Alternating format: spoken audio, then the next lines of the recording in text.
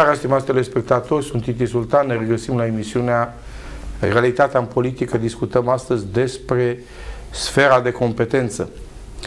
E foarte importantă competența instituțiilor statului, mai ales în măsura în care, în uh, virtutea dispozițiilor legale și constituționale, competențele nu prea se justifică în aplicarea lor din punct de vedere practic. Teoretic, ele sunt foarte bine reglementate atât în Constituție cât și în legi organice, însă sfera de competență lasă multe semne de întrebare, de aici și aceste derapaje în modul de aplicare a dispozițiilor anumitor instituții ale statului român.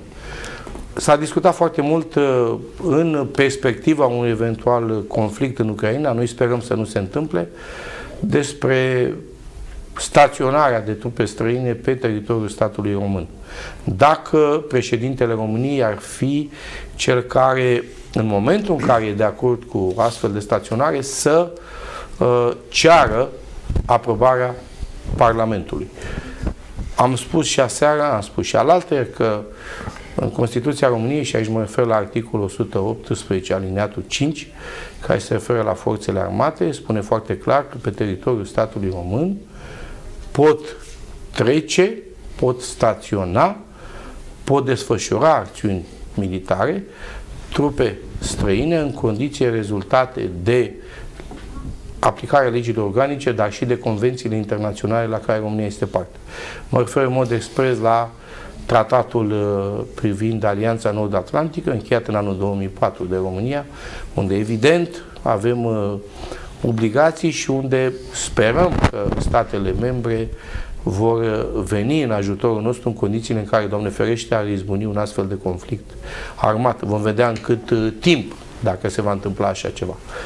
Pentru că, de asemenea, discuțiile sunt ample legate de, legate de intervenția președintelui României în a cere sau nu aprobarea Parlamentului. Avem aici două articole importante legate de atribuțiile președintelui României în domeniul apărării. Președintele este comandantul forțelor armate și îndeplinește funcția de președinte al Consiliului Suprem de Apărare a țării. Ieri s-a întrunit Consiliul Suprem de Apărare a țării, știți foarte bine, format din uh, anumiți membri, Ministrul Apărării Naționale, șeful Marelui Stat Major, Ministrul de Externe, Ministrul Finanțelor, șefii serviciilor de informații, Ministrul Afacerilor Interne, Ministrul Justiției, cei care au competențe în uh, acest domeniu al securității naționale. Însă, dacă ar fi să discutăm din punct de vedere al aplicării și, eu știu, uh, transpunerii în practică a dispozițiilor constituționale, președintele României este cel care declară mobilizarea generală sau parțială a forțelor armate, E evident cu aprobarea Parlamentului, dacă Parlamentul nu se află în sesiune, el se convoacă în termen de 5 zile de la declararea mobilizării generale sau parțiale, iar în caz de agresiune armată îndreptată împotriva țării, președintele României ia măsuri pentru respingerea agresiunii și le aduce neîntârziat la cunoștință Parlamentului printr-un mesaj. Dacă Parlamentul nu se află în sesiune, se convoacă în 24 de ore, cel mult 24 de ore, de la data la care uh, președintele României a luat, acest, a luat asemenea măsuri. Ce este important că Parlamentul funcționează pe toată durata acestor stări. Dacă, evident, uh, suntem puși într-o astfel de situație. Încă o dată, noi sperăm să nu ajungem la o astfel de situație, în ciuda escaladării conflictului din uh, Ucraina. E adevărat, se mobilizează mai multe forțe militare, dar uh, să sperăm că ele sunt numai de reprezentare, de etalare a mijloacelor uh, tehnice militare pe care le posedă atât NATO cât și Rusia în acest moment. Am în față un, uh, o atitudine, dacă pot să-i spun, a Uniunii Rutenilor Subcarpatici din România, foarte importantă în acest context și îi dau citire pentru că a fost expus în spațiu public la mai multe uh, mijloace de comunicare. Uh, insist asupra acestui uh, apel, dacă pot să-i spun așa, pentru că e vorba de 60.000 de reprezentanți ai Uniunii Rutenilor Subcarpatici din România și peste un milion care se află în Ucraina. În mare, iată ce spune acest uh, apel. Uniunea Rutenilor Subcarpatici din România a informat că membrii săi, 60 de mii în țara noastră și peste un milion în Ucraina, nu doresc să se alăture NATO în cazul unei confruntări militare dintre Rusia și Ucraina. Organizația a lansat un apel în care evidențiază că dacă se va declanșa un război, în apropierea noastră vom suporta consecințe dezastroase. Ardealul va fi luat de către Ungaria, Dobrogea de către Bulgaria, Banatul de către Serbia, iar Moldova dintre Carpați și Prut împreună cu Moldova, dinspre Prut și Nistru, vor forma o singură țară sub guvernarea puterii învingătoare, au spus reprezentanții Uniunii Rutenilor Subcarpatici din România. Uh, o să sintetizez câteva din uh, uh, cele mai importante, eu știu, uh, elemente care compun acest apel la discernământ în contextul unui posibil război în Ucraina și anume că spun cei din uh, Uniunea Rutenilor Subcarpatici. Face mențiunea că poporul rutean subcarpatic este un popor slab, slav, scuze, blajin și iubitor de pace. Nu a purtat niciodată războaie pentru interesele sale, chiar dacă a fost tărât cu forța în războaiele altora, când s-au aflat sub stăpânirea Austro-Ungariei și a Ungariei hotiste. De aceea nu vrem nici de data asta să mergem la război, acum când ne aflăm cea mai mare parte a etniei noastre sub stăpânirea Ucrainei, peste un milion de suflete, iar în România ne aflăm aproximativ 60.000 de persoane, toți oameni iubitori de pace și loiali țării în care trăim, respectiv României. Sfâșierea României nu mai poate fi evitată, spun cei din Uniunea rutenilor subcarpatici în cazul în care ar interveni un astfel de conflict, iar soluțiile propuse de Uniunea Rutenilor Subcarpatici ar fi catastrofa poate fi evitată prin câteva măsuri hotărâte și imediate.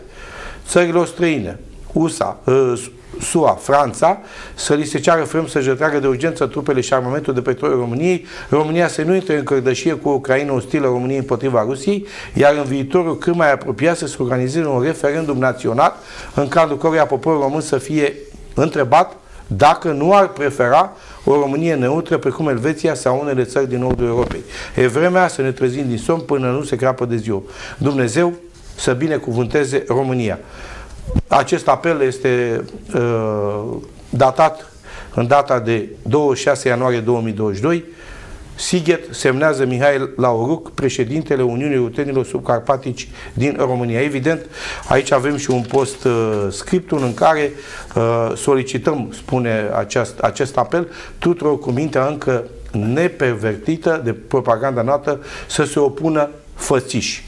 Adică afirmația că Rusia ar fi agresivă față de Ucraina este de asemenea falsă, pentru că Ucraina de azi deține întinse teritorii care sunt rusești, nu ucrainiene, iar mai mult de o treime din populația Ucrainei actuale este vorbitoare de limbă rusă, ruteană, nu de ucraineană. Prin urmare, aici poate fi vorba de un război civil în interiorul acestei țări. Iată, în mare parte, ce Uh, conține acest apel. Vom discuta însă despre sfera de competență, despre eventualitatea unui război. Noi sperăm să nu se întâmple și sper ca, uh, eu știu, factorii diplomatici să aibă puterea de a lua o decizie care să elimine orice fel de suspiciune în privința unui conflict militar. Pentru cei care intenționează să intre în direct cu noi în această seară, aveți numărul de telefon afișat pe ecranul televizorului, iar invitații mei din această seară sunt următorii. Domnul avocat Gabriel Angheluș, uh, care vă va prezenta un uh, proiect de lege extrem de interesant, care poate ar putea aduce o aplicare în concret a legii de către instituțiile statului. Bună seara, domnule avocat, mulțumesc Bună pentru prezența în emisiune. Mulțumesc pentru invitație, salutăm și uh, telespectatorii dumneavoastră. Domnul Marian Cotinghiu, antreprenor, cunoscut dumneavoastră și din uh, celelalte emisiuni în care a fost prezent în uh, platou Capital TV. Bună seara, domnule Cotinghiu. Bună seara dumneavoastră și telespectatorilor care ne privesc. Și domnul Cristian Sandu, care este coordonatorul grupului de acțiune pentru monarhie și democrație. Bună seara, domnule Bună Cotinghiu. Încep cu Bună dumneavoastră, domnule Cristian Sandu. Ce pare aveți în legătură cu acest apel al Uniunii Rutenilor Subcarpatici în condițiile în care Uniunea Rutenilor Subcarpatici acum circa două luni, a întreprins o acțiune la, în fața ambasadei Ucrainei în care uh, protesta față de modul în care autoritățile din Ucraina au adoptat o lege prin care limba minorităților naționale să nu poate fi folosită în învățământul din Ucraina. Afectate fiind nu numai uh, comunitățile românești de acolo, ați văzut un număr de circa un milion, dar în mod special comunitatea rusă în uh, proporție de circa 15 milioane, am înțeles, aflându-se în Ucraina. Vă rog. Cum să vă spun, înainte de a comenta acest comunicat al uh, acestei uniuni a minorității. Acest apel la pace și la, uh, pot da, să spun, interesant. liniște socială. Să, trebuie să vedem în primul rând contextul în care a apărut acest stat Ucraina. Deci în 1939, foarte multă lume știe că, la, deci la 23 august 1939, s-a încheiat o înțelegere între cele două mari puteri uh, totalitare, uh, Germania nazistă, hitleristă și Uniunea Sovietică bolșevic-stalinistă uh, în care, deci, acel pact secret își împărțeau sferele de influență și își acordau una alteia libertatea uh, să nu, a nu se deranja reciproc în sensul unor intervenții militare și a unor anexiuni teritoriale. Uh, ce a urmat se știe. Uh, deci Germania a atacat în vest, Uniunea Sovietică ultimatumul dat României, războiul din Finlanda și pe final războiul, declanșarea celui de-al doilea război mondial prin atacarea Poloniei. Uh, Polonia a pătruns la 1 septembrie 1939 prin vest, uh, Uniunea Sovietică a pătruns prin est și astfel Polonia a fost împărțită între cele două puteri totalitare. Ce se întâmplă? Partea de est a Poloniei uh, a fost anexată de Uniunea Sovietică și așa cum probabil unii dintre telespectatori știu, Uniunea Sovietică era împărțită în cele 16 republici unionale. Uh, între care deci exista și Republica Sovietică Socialistă Ucraineană, care pe timpul Imperiului Țarist era doar o guberdie a Imperiului. Uh, tot ceea ce a anexat uh, Uniunea Sovietică în anii 1939-1940, în speță această parte de est a Poloniei, Basarabia de la în urma ultimatumului dat Guvernului României în iunie 1940 și Bucovina de Nord, care nu, aparț- care nu a aparținut niciodată Imperiului Rus, ci a, a fost parte componentă a Imperiului Austro-Ungar și totuși anexată de Uniunea Sovietică. Toate aceste teritorii au fost uh, date în uh, componența Republicii uh, Sovietice Socialiste Ucrainene, exceptând uh, Basarabia, care s-a transformat în Republica Sovietică Socialistă Moldovenească, anexându-se tot în ideea îmbrăjbirii interetnice pe care o urmărea Stalin, vorba proverbului roman străvechi divide et impera, și această provincie, fâșie Transnistria, care ar fi trebuit să aparține de drept, având în vedere aplasamentul teritorial, componența etnică, să aparțină Ucrainei. Totuși a fost lipită de Republica Moldova. Ceea ce s-a mai întâmplat în Uniunea Sovietică, nu uitați Nagorno-Karabakh disputat acum de Azerbaijan și de Armenia, ă, Osetia cu acea minoritate rusă. Osetia. Osetia de Sud. Osetia de Sud și cu... Da. Deci disputa aceasta cu Georgia care ă, tot ă, rezultatul, toate aceste conflicte sunt rezultatul acestei politici staliniste. Acum, în momentul în care în uh, Ucraina a apărut această problemă a Maidanului și a unui amestec occidental în problemele interne ale Ucrainei, uh, a început acest conflict, de fapt, nu între Rusia și Ucraina, ci între, Rusia, uh, ci între Rusia și majoritatea statelor occidentale. Problema Rusiei este de foarte multă vreme acest cordon sanitar, pentru că Uh, statul rus simte o amenințare prin prezența uh, trupelor NATO și a uh, prezenței NATO și apartenența la NATO a unor țări vecine. După părerea mea nu se justifică pentru că eu nu cred că, vedeți, NATO este un pact defensiv a cărui temelie stă în articolul 5 care spune, care spune foarte clar Dom'le, dacă un stat... Dar în cât timp intervin? Dacă cât un, timp? Dacă un stat este agresat, Da, un stat membru exact. este agresat, celelalte state membre au Intervin obligația să să-i apere, acorde da. ajutor militar. După cât timp? Asta e important. Dar Dacă nu, și, nu vine rapid, dar nu aia și e. în cazul în care acel stat agresează. Exact. Și atunci, de ce se simte Rusia amenințată că un, st- un vecin membru NATO ar apăra? Înseamnă că este inconștient acel... Dumneavoastră, În cât timp se mișcă Păi aia e tot tare. timp. În cât timp se tare. mișcă. Aia e problema. Acei factori, vedeți, asta nu ne spune, depinde, asta nu ne spune tratatul. Credeți Dar că e de acum, ajuns că domnul- staționarea, desfășurarea de domnul trupe Sultan și- străine pe teritoriul statului român nu este legal. în cazul unui Știi- conflict? Stimați Dacă domn, nu problema este- este în Da, felul dacă- următor. Vă rog, și imediat Deci, domnul este, Angeluș. deci dacă un stat Da. membru uh, NATO vecin cu Rusia se apucă să atace Rusia, conducătorii lor sunt, uh, are conducători politici cel puțin responsabili. Deci acest pericol și de aceea eu nu cred că Rusia se Ce ar teme. trebui să facă președintele? Că el s-a întrunit CSAT-ul. Trebuia să solicite sau poate solicita sens? cuvințarea Parlamentului pentru ce? Pentru staționarea trupelor uh, franceze sau germane sunt Păi cei s-a care pus și-au problema manifestat asta? intenția. Nu! Dar eu am spus Păi- că, domnule, așa a întâlnit Că și-ar arăta președintele cu ministrul disponibilitatea apărării dacă, din Franța. Știți Vă rog. care, după părerea mea, nici nu ajută, nici nu... Haideți să vă întreb Nici nu altceva. strică. Ce ar fi Nu, dacă vreați făcut voi un mâna- monarh în condițiile actuale? Păi depinde ce ar fi făcut un monarh, pentru că monarhul depinde ce atribuții avea prin Constituție. Am înțeles. Păi, da. Bună. Cui aparținea. Da. Pentru că ați văzut în momentul în care, că deși uh, toată lumea știe că atunci când a fost acel ultimatum al uh, Uniunii Sovietice din 26 iunie 40, regele Carol al II-lea a fost pentru luptă. Dar pentru că în Consiliul de Coroană, care era compus din foarte mulți generali, s-a spus nu, pentru că înseamnă să pierdem inutil vieți omenești, Zice, ăsta este contextul, vom vedea în alt context. Deși uh, și șase politicieni, deci Nicolae Iorgaș, inclusiv Iliu Maniu s-au opus. uh, Dictatul de la Viena, la asta vă referiți? nu, la, la arbitrajul din la Și la arbitraj, și la arbitraj s-a întâmplat la fel, pentru că Păi- vă dați seama. Că, păi, vă, Cedat Transilvania fără luptă. Păi Asta da, s-a domnul întâmplat. Cotiviu, și ce- Italia, Germania au fost la Și- masă și cu Ungaria. Și, și- au spus, vă luăm Transilvania. Iar politicienii noștri și acum îmi cer scuze, să, și regele, n-au luat nicio măsură. păi nu, regele a spus să reziste. Dar Păi Consiliul a de spus, Coroană dar a n-a spus făcut nu. nimic. Păi, Practic nu, și- păi nu avea ce să facă, domne, păi asta îi spuneam. Prin, prin Constituție, Consiliul de, trebuia să țină seama de de Consiliul de Coroană. E, atunci când Carol I, dacă vă aduceți aminte Consiliul de Coroană, și da, Carol I a fost pentru intrarea alături de uh, puterile centrale. Exact. Da. de intrarea război imediată. Pentru că aveam un tratat, dar aveam un tratat defensiv ca și NATO.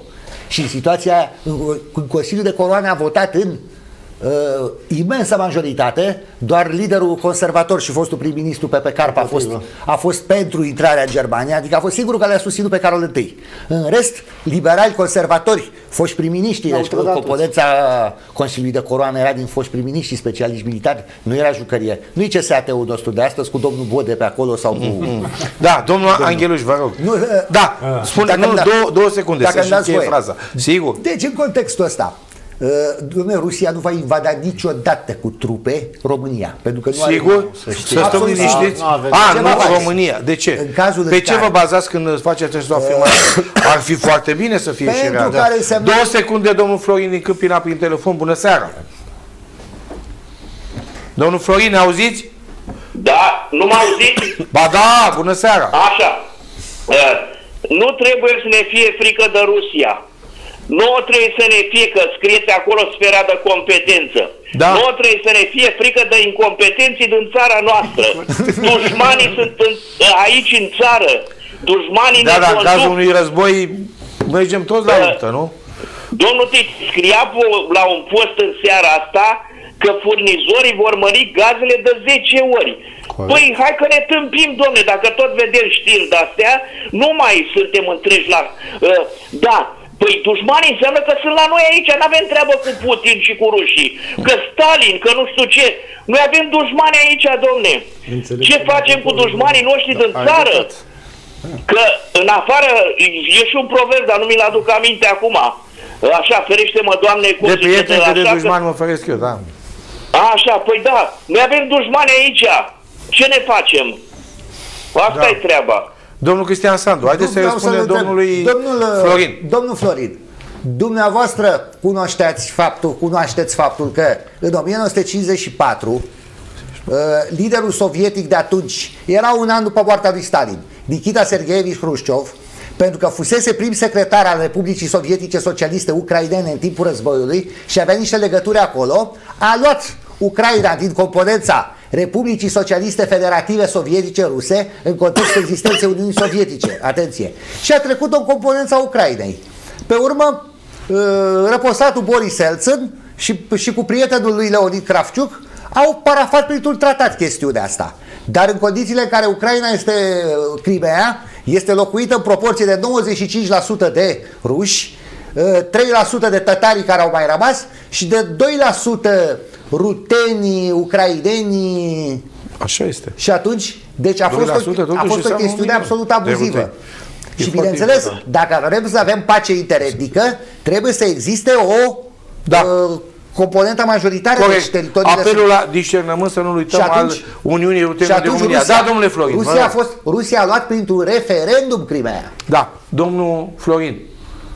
Rusia, ca orice imperiu, s-a afirmat totdeauna după poziții de forță. Orice mare putere nu? se... Domnul Florin, orice mare da. putere da. se impune pe poziții de forță.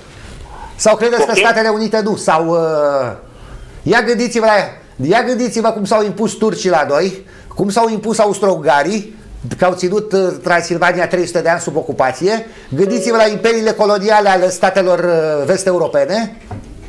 Deci da. asta este, asta este Totdeauna expansionismul a fost... Uh, uh, rusul, e mai, rusul e mai din topor, așa. Ăștia din vest ne-au făcut să ne rugăm noi de ei și uite acum ne chițăim că nu avem gaze. Păi, domnul meu, să ne dea America gaze. Că noi nu vrem, noi vrem nivel de trai decent cum scrie în Constituție. Așa este, aveți noi asta vrem. Nu vrem democrație, nu vrem vorbe. Noi vrem fapte. Ne-am săturat de vorbe de democrație, că democrația a tâmpit pe ea în America Latină ea, când a, zi, a scos capul Venezuela, la un moment dat, n-au mai avut nici apă potabilă, pentru că s-au opus Statelor Unite. Statele Unite le-a dat la cap la toți în toată lumea, căci că s-au dus să impună democrația. Nu, Statele Unite, ca orice imperiu, luptă pentru resurse. Așa este. Și, și cei care sunt cum suntem noi țările mici, așa noi, ei sunt așa mari și frumoși și așa civilizați cu zgârie nori și cu tehnica asta, pentru că au furat creiere, de exemplu, de la noi. Că s-au dus nu cred, de la copii, noi, da. oameni, oameni cu cap s-au dus la păi ei, că i-au plătit ei mai statului, bine. Politicilor statului. Vedeți, vedeți da. asta este, asta da. este Două secunde, domnul Florin. Mulțumim. Domnul Angeluș vrea să vă spună domnul ceva. Florin, mulțumim mult. Uh, dumneavoastră, prin vocea dumneavoastră, așa, cu cuvintele populare, dar foarte exacte și văd că sunteți destul de bine informat, este un eșantion al înțelepciunii poporului. Oamenii știu ce se întâmplă, sunt mult mai bine prinși în, uh, în social și mulțumim și invitatului nostru că ne-a făcut un expozeu istoric absolut uh, elegant și plăcut uh, referitor la aceste probleme legate de uh, uh, această mică răscruce de război care se dorește. Se știa de, de acest lucru. Însă eu vreau să, să schimb uh, discursul și să ne ducem uh, spre eu nu soluții. Cred, eu nu cred vreau că se dorește spre soluții, de aceea am fost da. invitat să prezint un proiect uh, de țară până Do- la Două urmă. secunde până să prezentați uh, proiectul, dacă domnul Florin mai are vreo întrebare, da. dacă nu-i mulțumim mult. Mai vreau să vă spun da. atâta, că Hrușciov era în zodia gemenilor ca mine. Și Hrușciov da, când l-a șucărit aia la... Să ne trimiteți o poză, poate semănați cu el.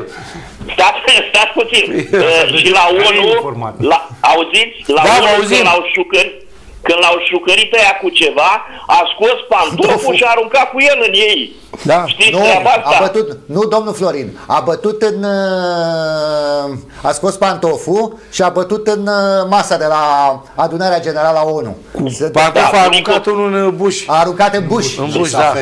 Da, să buș a foarte bine. Da. a aruncat cu pantoful, da. mă rog. Da. Bun, mulțumim mult pentru intervenție. Da, două secunde. O sigură, o sigură chestiune aș vrea să vă mai spun. Da, spuneți și apoi domnul Cotinghiu și apoi... Dumneavoastră aveți impresia că Statele Unite mor de grija democratizării Ucrainei sau vor piață de desfacere pentru armament? Păi exact ce a spus uh, Iar rușii, ce, uh, iar rușii, ca vorba dumneavoastră, ca orice mare imperiu și mare producător de armament, bineînțeles că nu-i convine să piardă o piață de desfacere. în care este și în zona lui panslavistă, pentru că sunt niște informații care circulă că în 2004 a fost o înțelegere între George Bush Junior, președintele de atunci al Statelor Putin, Unite, și Vladimir Putin, concretizată. Gata, sunt de acord să intre țările din tratatul de la Varșovia care vor, dar pe uh, ligianul meu panslavist aici nu vă băgați. Și chestiunea a fost uh, parafată așa printr-o petrecere de zile mari în care uh, circulă și pe internet uh, filmulețul în care Bush și Putin dansau de mama focului cu niște rusoaice frumoase pe uh, Numai că s-a muzică încărcat populară acea rusească. ordine, acea frumos, înțelegere. da. Și domnul Și Cotinghiu și- acum. s-a așezat- Corect. Domnul Cotinghiu. Avem 400.000 de români care locuiesc în Ucraina. 400.000 de români care nu pot să vorbească limba lor maternă, nu au grădinițe, nu au școli în limba lor, sunt împiedicați să-și Nici recupereze biserică, da. dre- drepturile. În 1000, după 1990 nu li s-au dat trenurile înapoi nici până în ziua de astăzi. Așa Românii este. noștri din Ucraina sunt permanent persecutați. Sunt ai nimănui acolo. Sunt ai nimănui, iar nouă ni se cere să mergem alături de Ucraina să luptăm împotriva Rusiei. Poporul Bun. român nu vrea niciun nu timp ni de s-a război. cerut chiar nu ni s-a cerut Încă, chestia asta. încă, încă. Evident că ne protejează. Uh, momentan, haideți să vă explic altă. Dar Rusia, domnul Cotigiu, Rusia și ce va face în caz de conflict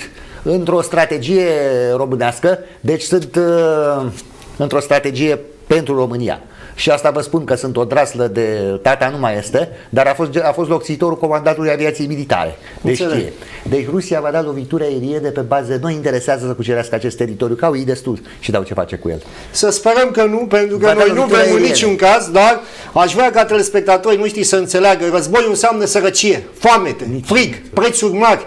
Ce nici Păi nu- să știți că, uh, domnule, eu pe Vladimir Putin îl urmăresc în acești 22 de ani de când este în uh, fruntea Rusiei. Domnule, ăsta și-a urmărit propriile interese. Și e normal, e Interesele patriot, e țara lui, da, nu e normal? Dar, domnule, nu a acționat necalculat. Nu a acționat uh, irresponsabil. Ori nu cred, cred că este vorba de un simplu joc de gleznă, un simplu Un spectacol singur cu joc, plimbarea. gândiți-vă euro, dacă fluctuează pe piață un zvon, un singur zvon, euro crește, euro se devalorizează. Eu v-am dat un exemplu. Gândiți-vă un început de război, ce va, practic ce se va întâmpla. Camioanele vor veni mult mai târziu decât vin cu mâncare, prețurile la motorină vor crește, prețurile la gaze vor crește, că Rusia e posibil să ne taie gazele, iar România va suferi din toate punctele de vedere. Să nu, mai, să nu uităm de migranți. Cred că posibil- Putin vrea să redă puțin de ei, să domnule, domnule, sperăm stare că militari. Putin vrea ce, ce vrea bine pentru dânsul, dar pentru noi ca români trebuie să ne gândim la toate aspectele. Nu putem doar să Nu stăm că cu război- speranța că Putin nu vrea să ne atace. Să știți că pentru că război- de 32 de ani, poporul de 32 de ani, politicienii din România latră la Rusia permanent, gratis și fără niciun sens și fără niciun, absolut niciun avantaj. Are alte mijloace, nu să trimită trupe pe aici. Că vorba Tocmai de aia asta vă spun, România am devenit trompeta Americii. Dacă America vrea să Asta e trimită un adevărat. mesaj, uh, România nici măcar nu e nevoie să ridice mâna în sus, că noi deja am început să batem din palme și să spunem că Rusia în jos, Rusia în sus. Propun domnului Aurescu, propun domnului Câțu, propun domnului Grindeanu să lupte dânsii, să se ducă dânsii la război, cu războiul ăsta, că poporul român nu vrea război. Noi nu suntem în stare să ne plătim facturile. Noi nu suntem în stare să ne plătim facturile la gaz, la lumină. Pentru ce ne trage pe noi în... Uh, înțeleg, suntem parte din comunitatea europeană. Sunt, eu înțelege, pe care trebuie să o respectăm. Noi plătim 2%, plătim Din PIB, da? din PIB-ul nostru al Pentru apărare, NATO. da. De ce în banii nu am putea să plătim pentru armata noastră să ne întărim Dar armata? Croația. Da, Croația singur. Foarte bine, Ungaria, Croația da. a spus că în cazul în care începe un război împotriva Rusiei, își retrag, își retrag trupele. Eu nu cred că Rusia va, vreodată va ataca Ungaria. Și de ce? Nu cred, indiferent ce s-ar întâmpla și cât de rău ar fi rău, nu va ataca. Și vă spun de ce, pentru că au știut ungurii să-și cultive o relație decentă cu Rusia. Nu va ataca, domnul... Nici Polonia. Domnilor, deci Rusia Grupul nu, de la este, Visegrad. este ineficient strategic ca uh, Rusia să atace Ucraina cu trupe regulate, mai ales Estul. Pentru că poate sprijini foarte bine milițiile acolo, poate să trimită trupele comando sub acoperire, că nu-i, nu e mare lucru. Am văzut zile trecute chiar într-o emisiune la, la domnul Sultan, cred că ieri, un domn general care vorbea foarte, general sau colonel, Domnul general Bălăceanu. Bălăceanu foarte, vorbea foarte coerent, probleme de logistică, propunea printre altele să uh, punem acum, să încurajăm voluntariatul, oameni până la 50-60 de ani, să intre în armată, să facă 4, 5, 8 ore pe săptămână, le dăm un salariu de 10 milioane, Da. păi 10 milioane să plătească factura de gaz electric, Și- uh, și cu tehnic indignau ce, pentru ce și-a riscat un Auziți? pensionar viața 50-60 de ani să vină el să-i dea o pușcă, să-l pui în linia întâi, să vină omonți pe nați, să intre ca în brânză și eu, eu nu văd sensul. Auziți, domnul Cotighiu și uh, domnul Sultan, domnilor, și cum se opun uh, uh, a două, trei escadrile de suhoiuri Păi de ultimă generație? Noi, Cu- noi, da. noi suntem o glumă. Armata, avioanele noastre iau 20 ceva de mii de Păi, avioane, F-16 noi avem 3-4 de 40 de ani care urmează să vină acum care plătim jumătate de miliard. Mic 21, 1954. glumă. Două secunde, vă întreb, mai avem un telefon. Bună seara! Alo? Alo, bună seara! Bună seara, vă ascultăm. Doresc să-l felicit pe domnul cu cravată roșie care spune niște realități enorme. De unde sunați? Din câmpul moldovenesc. Vă ascultăm. Batele. Ah, da, vă ascultăm. Da, poate emisiunea asta va fi transmisă mai, mai e, pronunțat să aude și edilii noștri, inclusiv cei de la centru, guvernanți și, și senatori și, și deputați care nu fac nimica, au, dacă ar și să afli măcar ce atrocități au făcut uh, ucrainenii împotriva românilor din 40 și 45, între 40 și 45. Vreau să-și dea seama unii ne implică ei să ne băgăm uh, în război alături de, de ucraineni împotriva rușilor, care rușii nu ne-au făcut niciun rău. Mai rău, cel mai mare rău a făcut ucrainenii, nu rușii. Ar fi bine să, să, să mai tempereze diplomații noștri și conducătorii noștri împotriva rușilor. Da. Dacă aveți vreo întrebare pentru invitați, vă rog. Poftim? Dacă aveți vreo întrebare pentru invitați. Nu am nicio întrebare, doar atât am vrut să felicit. pe Da. domnul respectiv Mulțumim pentru- mult pentru intervenție. Domnul Cotinghiu, el a fost, Da, că, da, nu da. numai de, toți trei au cravată, poate domnul cu cravata roșie, da? Da, am deschis De pionier. Nu i-am deschis numele. Bine. Da. Marian Cotinghiu. Vă rog, domnul Cotinghiu. că După v-am cum întrerupt. vedeți, poporul român nu vrea acest război. Poporul Da. român nu vrea să fie parte din războaiele coloniale ale Americii. Noi nu avem nevoie să, de război cu nimeni. Noi nu putem să facem față un război cu Albania acum. Ce să căutăm noi împotriva Rusiei? Pentru ce să luptăm? Nu s-a ajuns încă. s-a pus problema Încă nu. Păi ascultați-mă. Suntem la, sunt la granița Ucrainei, Rusia. În cazul cel mai rău. Ce Sunt să la vreo 300 de kilometri, adică ca de aici la Bacău. Credeți-mă, le au două, trei ore ca Rusia să Așa ajungă este. la București. Au arme hipersonice. A, bine. Au arme hipersonice în două ore. Dacă Rusia vor să ne Asta bombardeze, e în ne-a afara terminat până discuției. vin forțele NATO în 5-6 Dar, zile uh, să ne ajute. Eu cred că nu știu dacă mai suntem aici. Dar vedeți că la nivel de NATO s-a spus că nu se va riposta militar. Păi NATO Adică spune NATO o nu se va chestie, implica. haideți să vă zic ceva, am văzut ce s-a întâmplat în Afganistan. Am văzut după 20 de ani, de 20 de ani America au investit miliarde și soldații noștri au murit acolo pentru ideile Americii, că America a fost uh, uh, principalul instigator că pe a intra în Afganistan. Am văzut ce s-a întâmplat acolo. Vă întrerup puțin, mai avem un telefon. Da, bună seara. Seara bună Vă ascultăm. uh, tuturor fraților. Dragilor, dacă mi este permisă o Da. intervenție foarte Da, foarte domnul scurtă. Motocu, cum să nu? Să trăiți, să trăiți. Bună seara. Uh, Dom'le, știu că toată lumea vorbește de război, da? Bun. Ia haideți să ne întoarcem puțin el în timp, să vedem cine a provocat Rusia cu navele. Cine a fost uh, regele ciocolatei? Vă aduceți aminte de el? Bun. Poroșenko. Și ne întoarcem și în România. Cine conduce țara de 32 de ani? Nu se Poate știe. reuși să-mi spune și mie, că eu o spun în fiecare Domnul seară. Cristian Sandu poate ne spune. Cine Uh, conduce România? Nu, nu, eu nu Statele știu. Unite sau E, nu mi-e Germania? clar, poate e clar domnului Motocu. Marian Motocu, Deci, care uh, este Poate e clar coordonatorul dânsul grupului de care acțiune conduce. 41 pentru Dar din moment ce România. pune întrebarea, cred că nici dânsul nu știe Ba, cine știe. conduce. Ah, Domnule dragă, haideți să vă spun ceva, ca să fim foarte... și nu vreau să se supere nimeni pe mine. România este condusă spre distrugere de 32 de ani de aceia care își spun evrei. Toată intenția Bine, aici acestui nu putem război- să nu putem să generalizăm. Știți că știți Păi nu, foarte nu, nu, bine. stați așa, eu nu vorbesc de evrei Ah, din am Israel. înțeles, am Domnilor, înțeles. De ce nu vorbesc de ei? Ăia sunt la fel de sărmani ca noi, la fel de omorâți ca noi, la fel de la fel ca noi. Vă referiți la Deci nu minți vorbesc de luminate aia. din uh, categoria lor. Da, e o opțiune, e adevărat. Dragilor, am spus cei care spun evrei. Am înțeles. Da? Da. Bun. De 32 de ani, la noi în țară, după cum ați observat, s-au dat legi împotriva românilor.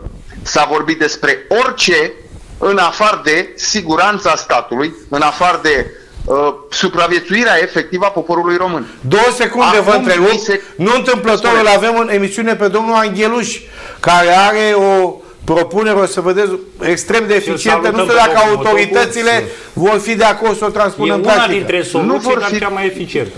Două secunde, Domnul domnul, Titi, Motocu. Da, nu vor ascult. fi de acord. Cu ce? Nu vor fi de acord. Politicienii la Dar ora știți actuală, proiectul și îmi cer domnului scuze, Angeluș? M-am uitat la emisiune de la început. Da, dar încă nu Gândiți-vă a că apucat noi- să ni le n-am spus explice. nici măcar un cuvânt. Da, vă rog, vă Domnule rog. dragă, dacă îmi permiteți. Sigur. Noi avem proiect, noi 41 pentru România, avem proiect gratis pentru România, da? De dezvoltare, educație, hrană, ce vreți dumneavoastră. Sunt specialiști, începând de la uh, de a învăța uh, copiii de la grădiniță, până la oamenii bătrâni să se ducă, ce știu eu, într-o parte sau într-alta. Nu-i interesează Corect. are dreptate. Astăzi, după cum bine știți, eu sunt alpinist. Astăzi am făcut o emisiune după o clădire. O clădire care stă să cadă pe noi. În Unde, Craiova. în Craiova? Da. Da. Am e, înțeles. e o emisiune, bă, un live foarte, foarte scurt. Deci toate clădirile din România sunt pe punctul de a se surpa pe noi și pe noi ne interesează că se, bă, nu știu ce americani cu nu știu ce francezi cu să vină aici să fa... Păi noi nu avem noi ce să mâncăm, cum să le dăm lor să mănânce? Noi ne-am săturat de 32 de ani pe otrăvurile care ne dau în fiecare zi. Bun, ce Oamenii soluție sunt avem? omorâți Ce în facem? spitale. Ce facem să eliminăm țara asta, de fapt? Bineînțeles, Ce facem? legal. În primul și în primul rând, tot ceea ce înseamnă clasă politică trebuie eradicată. Nu Prin au alegeri. voie. Nu, asta spune și domnul Angeluș. Deci, Sau scurt pe doi. domnul Restul Cristian sunt Sandu. desene animate, dragilor. Nu vreau să fiu... Să vină înțeleg monarhia, domnul Cristian Sandu. Păi nu, Nu e vorba de monarhie, nu e monarhie vorba, domnule. nu, Haideți să nu, fim forma de serioși. guvernământ e Nu. formă de guvernământ, sistemul politic e sistem politic. Și atunci ce să facem? Păi ce să facem? Domnule dragă, să ne documentăm, tot ceea ce înseamnă... să ne, nu, nu, nu, tot ceea să ce ne înseamnă învățăm mintea că cum politicieni... votăm, așa trăim. Ce... Nu, să ne spună domnul Îmi cer scuze, Motocu, eu, eu vă nu pot ascultăm. să- la mine se aude cu... Domnul se aude Motocu, cu vă delay. ascultăm. Da, domnule. Vă ascultăm.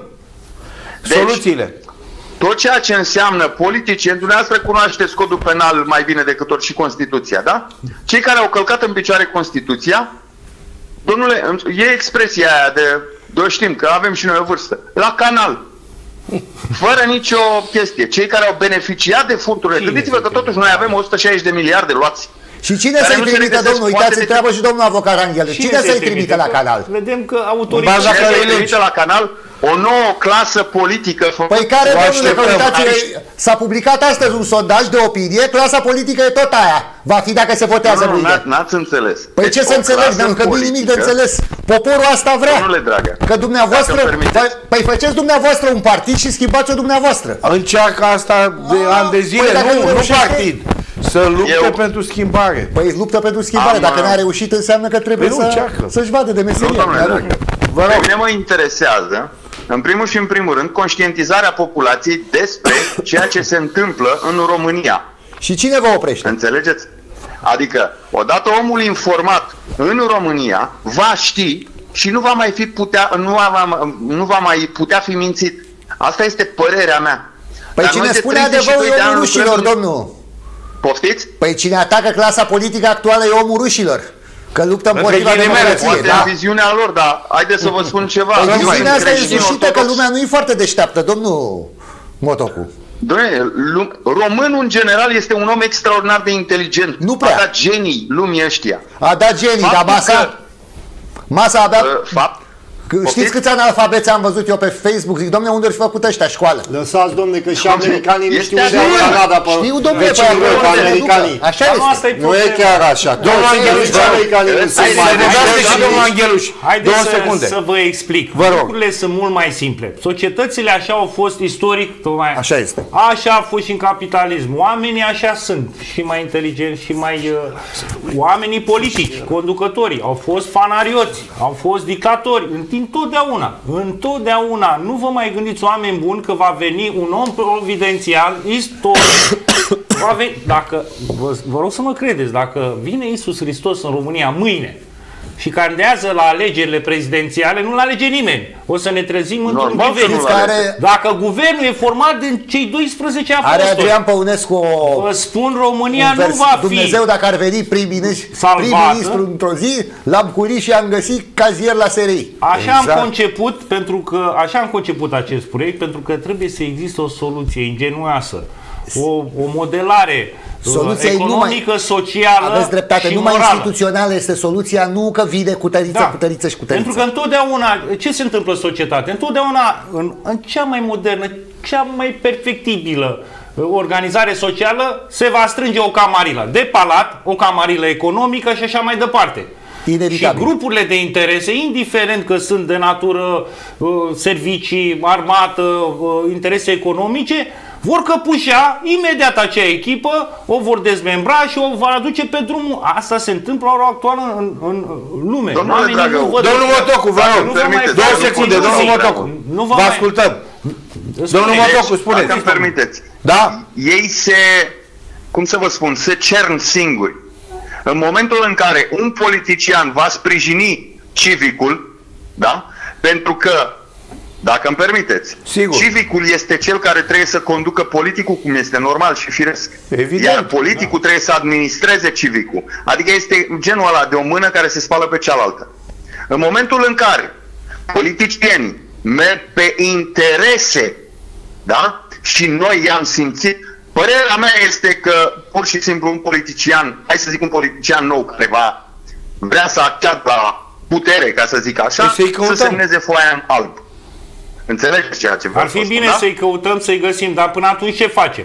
Haideți să vă explic. Până Uh, atunci? Încă de, Păi, uh, domnule dinainte dragă, de 1989, clasa administrativă și de conducere, care avea o calitate, cât de cât. Uh, Oamenii erau școliți, aveau totuși o moralitate, răspundeau uh, adreselor cetățenilor, totuși se respecta ceva.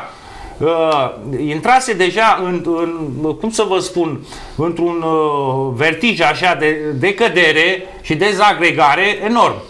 După Revoluția din 89 și în ultimii 30 de După ani, uitați-vă Revoluția dumneavoastră din că nu 89. mai avem uh, Haideți profesioniști, să nu nu mai avem culcăm, uh, administratori, a fost nu mai avem clasă Loviluție, politică de domnule dragă. Calitate. Și atunci ce facem? Facem revoluții în fiecare săptămână. Nu-mi place, o să ajungem iar la anarhie. Soluția este Domnule dragă. să introducem un sistem, un sistem Așa. instituțional, să grefăm exact cum avem uh, uh, sistemul uh, uh, uh, social, uh, sistemul imunitar în societate. A? Nu avem sistemul imunitar împotriva încălcării legilor, derapajelor și cancerelor Domnule dragă. administrative socio-economice. Ăștia calcă Constituția în fiecare zi.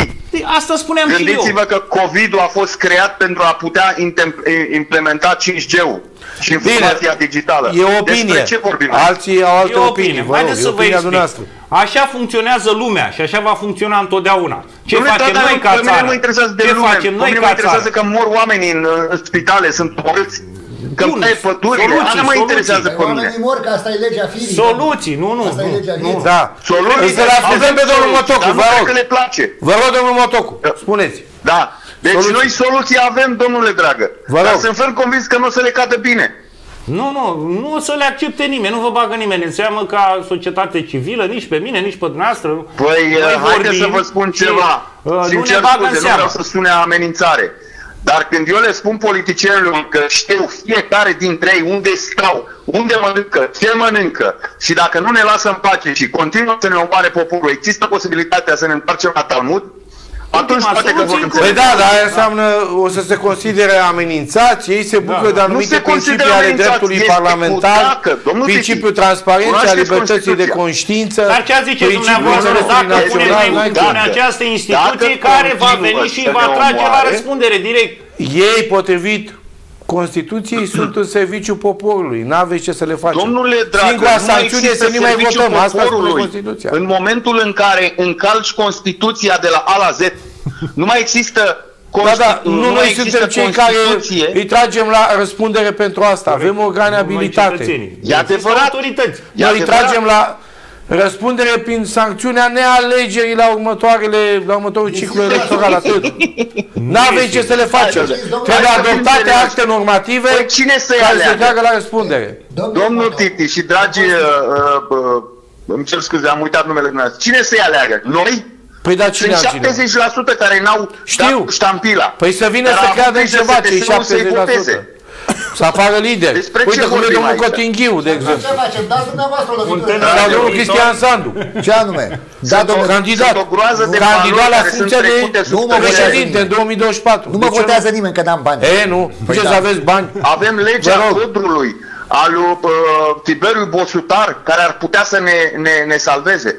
Avem, uh, uh, cum îi zice, pentru suveranitate, al lui Da, Chitic, da, care știu, ar știu. putea să aducă un avantaj. Chitic și- da, Avem da. meritocrația lui Laurențiu Primo. Avem o groază de Domnule, soluții. ăștia nu sunt la butoane, ăștia nu sunt în Parlament.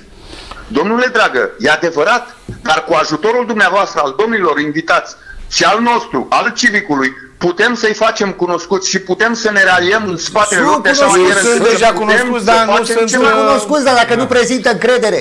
Nu, nu, prezintă Trebuie să încredere. fie în Dar Parlament, interesul trebuie să pur- fie au în legitimitate, guvern, să ai de reprezentativitate. putere de Trebuie să aibă. decizie, altfel nu Da. se... Domnul, domnul Motor, Asta așa, că eu sunt prin telefon și nu vă aud. Uh, Fiți atent, Constituția, deci în uh, perioada 1948-1989 treaba era clară. Partidul era în toate, spunea partidul nu mai mișca liber, ca că ducea la pușcărie. Da? Aia era o dictatură. În perioada 1866-1938, cât a fost monarhie constituțională în baza, era așa o singură, Așa. era instituția monarhiei care la articolul 101 se spune așa, uh, suveranul, la prerogativele legale, suveranul poate dizolva camerele, ambele camere sau una dintre ele, cu obligația ca în decurs de două luni, citesc, să convoce noi alegeri. Și atunci, când știa că are un jupân, Domnul președinte, de, domnii președinți de partid erau puțin mai atenți cu Mai ce fac ponderați. cu Și de ce Da. nu a Și dizolvat, dacă domnule, jupânul atunci ăsta când este un tratatul de evreu? la Viena, de ce nu a dizolvat care regele? parlament, că se suspendase, domnule, era... A, s-a Păi, suspendat. domnule, erau Păi de democrație. ce atunci când arbitrajul de la Viena, când a luat Transilvania, de ce nimeni n-a intrat să oprească Ungaria, să Da, domnule, vă intre întreb eu, România vă în întreb eu, Transilvania? de ce a făcut, Oh. de ce Chamberlain și Daladier au făcut acordul la München? Și au dat lui Hitlerul liber. Păi dumneata ne spui și acum că dacă ar veni bine regele, regele ar fi garantul. Și acum garantul. tot dumneata ne spui că nu e garantul, că în perioada de garanție... Haideți să nu certăm. Domnul Motocu. Ești român. Domnul Domnule, Motocu, dacă mai avem îmi puțin permiteți. până la pauză, două minute. Vă Da, da, ascultăm. da. Deci dacă îmi permiteți, o Da. singură remarcă și după aceea închid. Da. Sunteți trei oameni acolo. Da. Și nu vă înțelegeți. Dumneavoastră aveți impresia că se vor, se vor înțelege câteva milioane de oameni. Bine zis. Așa e. Bun, Asta e nevoie de o V-am instituție care îmbrățișat să... mult. Mulțumim Doamne mult ajută. pentru intervenție, da. Domnul Cotinghiu. Sănătate. Mai avem Uh, un minut. Situație foarte grea, România este... A vorbit exact a vorbit Vox Populus, Vox Populist, vocea poporului.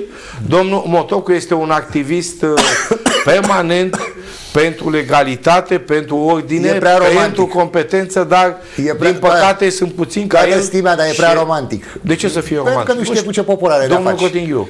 Eu cred că știe. Părerea se duce mea este peste că e un noi. luptător, omul a Exact. spus niște idei foarte coerente, da. într-adevăr, vrea să facă Și ceva, chiar să se luptă implică, și n-are avea și niciun niște interes. nume. Uh, E adevărat, cei care au, au, au putea să schimbe cu adevărat ceva nu sunt îndeajuns de vizibil pe piață ca oamenii să-i cunoască. Nu știu să se autopromoveze, să-și promoveze ideile ca oamenii de rând să înțeleagă și să aibă opțiuni la alegeri. Că până la urmă la asta ne ajungem, Domnul Cotinghiu, la alegeri.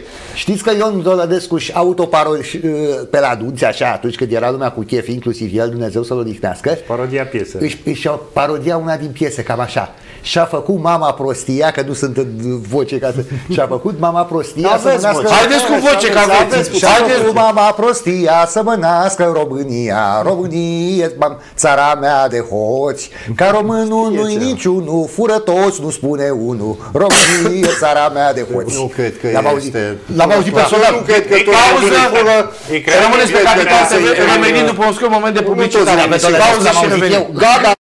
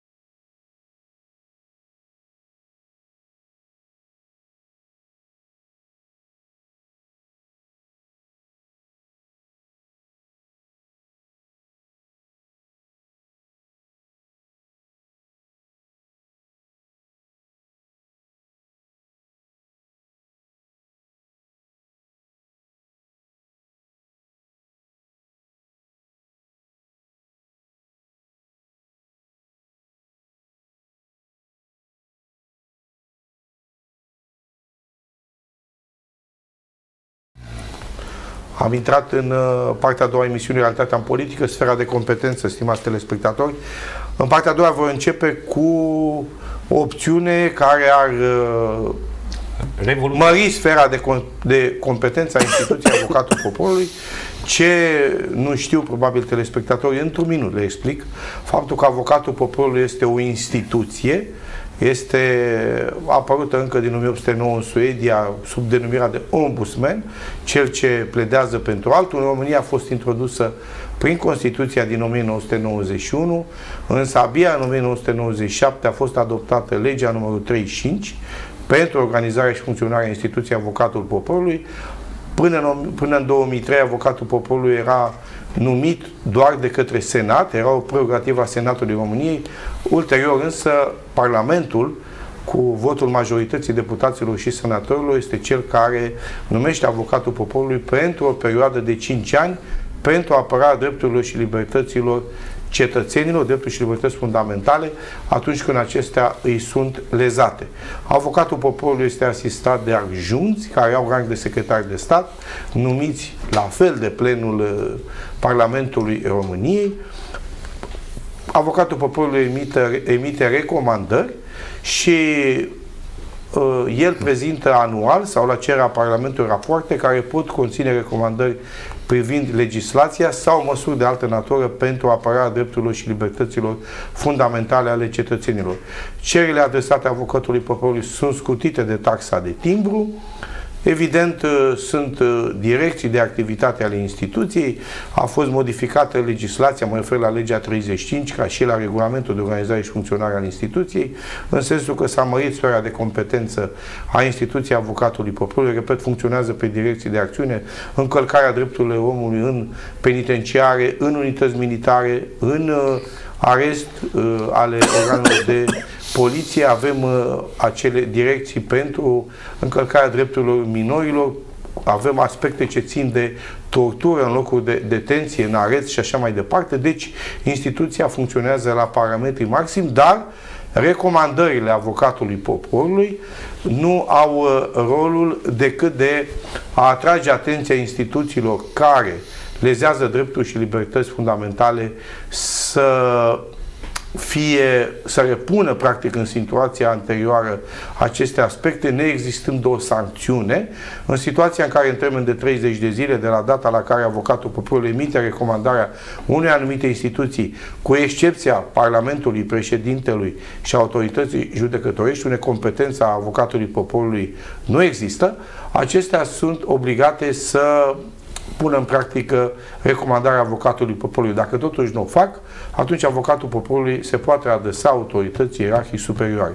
Însă, din păcate, avocatul poporului nu are în acest moment o prăghie de coerciție în a putea impune instituțiilor care nu transpun în practică recomandările sale Uh, să emită și anumite sancțiuni. Mai mult decât atât și cu asta închei, există competența avocatului poporului de a se pronunța în privința neconstituționalității legilor din oficiu, spune articolul 146 literal, de asemenea din oficiu se autosesizează când avem în vedere uh, în instanțele judecătorești acele aspecte ce țin de neconstituționalitatea legilor și a ordonanțelor. Dar pentru aspecte ce țin de o sferă de competență amplă în această instituție printr-o altă autoritate care poate impune factorilor de decizie să respecte drepturile omului, îl las pe domnul avocat Anghelu să vă exprime ideile dânsului. Vă Mulț- Mulțumesc, domnul uh, Sultan. Ați făcut uh, niște precizări absolut necesare. Asta este situația actuală a avocatului uh, poporului, o instituție de factură istorică ombudsman, iar istoria acestei instituții fundamentale a dreptului de factură nordică a reieșit din nevoia reparării, corelării tuturor neînțelegerilor administrative, de exemplu la popoarele nordice, uh, în lipsa uh, regelui sau uh, în lipsa unor disfuncționalități și neimplicării cu răspunderilor unor feudali, pur și simplu se dereglau toate relațiile comerciale, apăreau războaie, tribale și așa mai departe. Iată că astăzi avem o instituție modernă în toate statele. Deci avem peste, în peste aproape 80 de state instituția ombudsmanul, avem ombudsmanul în România, ombudsmanul european. Însă, uh, tradiția istorică a făcut-o ca acest ombudsman să fie unipersonal, da? cu un aparat uh, și cu atribuții clare cu mai puține atribuții pentru că așa s-a dorit de către uh, puterile statelor respective. Și iată că uh, șansa sau neșansa a fost să vină peste această planetă, această, uh, cum să spun, uh, organizare în gurele albe de interese care să subjuge drepturile și libertățile cetățenilor. Sub diferite pretexte economice. Până la urmă totul e vorba de bani. uh, și războaiele și toate lucrurile astea așa ponesc. Însă eu uh, m-am gândit foarte bine la istoricul și necesitățile acestei țări. Vă întreb că... câteva secunde, vă, da? vă țineți-vă ideea, domnul Adi din Timișoara. Bună seara! Vă ascultăm! Bună seara, da. Vă rog. Cu conflictul ăsta, pe tema aceasta în să dezvolt un pic, au spus domnul Părinte foarte bine, cu Ucraina. Să știți că merită, merită ce îi se întâmplă. Haideți să o luăm puțin după Revoluția la 1988. Am cerut piesul la cercile, n-au vrut, mi-am dus la tribunale, nici acolo n-au vrut. Au vrut să luăm puțin din mare sau puțin din pasajă, nici asta. La Cernăuț n-au dreptul români. Acum, Așa e. La Republica Moldova. Noi când am dat Moldova, zicem așa, uh, rușilor, am luat ei, era până la Dunăre. După 90 le-a luat și de la Moldoveni totul Moldovei. Știți că pe noi. Deci da. asta. Adică și noi avem nevoie de rus. Nu că iubim mai mult copii, dar domnul test. Cine le dă domnul? 40% din care se administrează cu gazul Da. Asta vă spun. Da, mulțumim mult pentru intervenție, oportună și la obiect. Vă rog, domnul Angeluș, și continuăm. Ei bine, da, da. eu am alcătuit alături de o echipă de specialiști. Uh, ideea mea aparține Uh, mai nou sau uh, mi se spune arhitector, dar nu mai știu dacă este uh, compliment sau e înjurătură. De ce? Pentru că am găsit această idee de a moderniza instituția avocatului poporului prin amplasarea, prin extinderea. Avocatului poporului de la nivelul de ombudsman unipersonal, și mulțumim doamnei uh, Renate Weber pentru că a reușit să facă, să facă eforturi supranaturale, să stopeze deraierea aceasta absurdă și ilogică de încălcare a drepturilor și libertăților, știți, nu s-a terminat pandemia, ați uitat că virusul circulă noaptea, că trebuia oamenii, deci nu aberații, aberații ilogice, nejuridice și sancționabile. Nu mai vorbim de uh, posibile uh, crime împotriva umanității față de anumite protocoale medicale și așa mai departe. Ei, cine poate Bine, alea trebuie dovedite, însă vreau să spun un singur aspect. Vis-a-vis -vis de competența avocatului poporului de a se a ridicat excepțiile de neconstituționalitate. Uh, se auto sesiza. sesiza în legătură cu ridicarea excepției de neconstituționalitate privitor la legi și ordonanțe. Aici da. mă refer în special la ordonanțe. Ordonanțe de urgență, pentru că în cazul hotărârilor de guvern nu poate interveni, este decât da, calea contenciosului administrativ. Însă, vreau să spun atât. Aici au fost discuții, mai ales în perioada stării de urgență. De Faptul că Uh, articolul 53 din Constituție trebuie interpretat în litera și spiritul lui. Se referă la restrângerea exercițiului unor drepturi sau unor libertăți. Fără și spune acolo, conținut. exercițiul unor drepturi sau unor libertăți poate fi restrâns numai prin lege și numai dacă se impune după caz pentru operarea securității naționale, a ordinii, a sănătății, da. ori a moralei publice, apărarea drepturilor și a libertăților cetățenilor, desfășurarea instrucției penale, și... prevenirea consecințelor unei calamități naturale, a unui dezastru sau unui sinistru deosebit de grav. Însă, restrângerea poate fi dispusă numai dacă este necesară într-o societate democratică.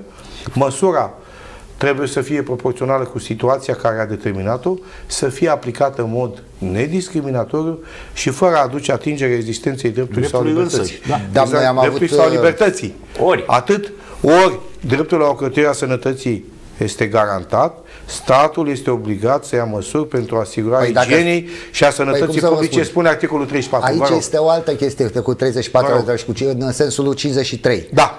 Dom'le, cine stabilește ce înseamnă pericol grav? Că dacă prin niște măsuri uh, elimini uh, ravagile unui presupus uh, pericol grav uh, asupra sănătății și creezi altele?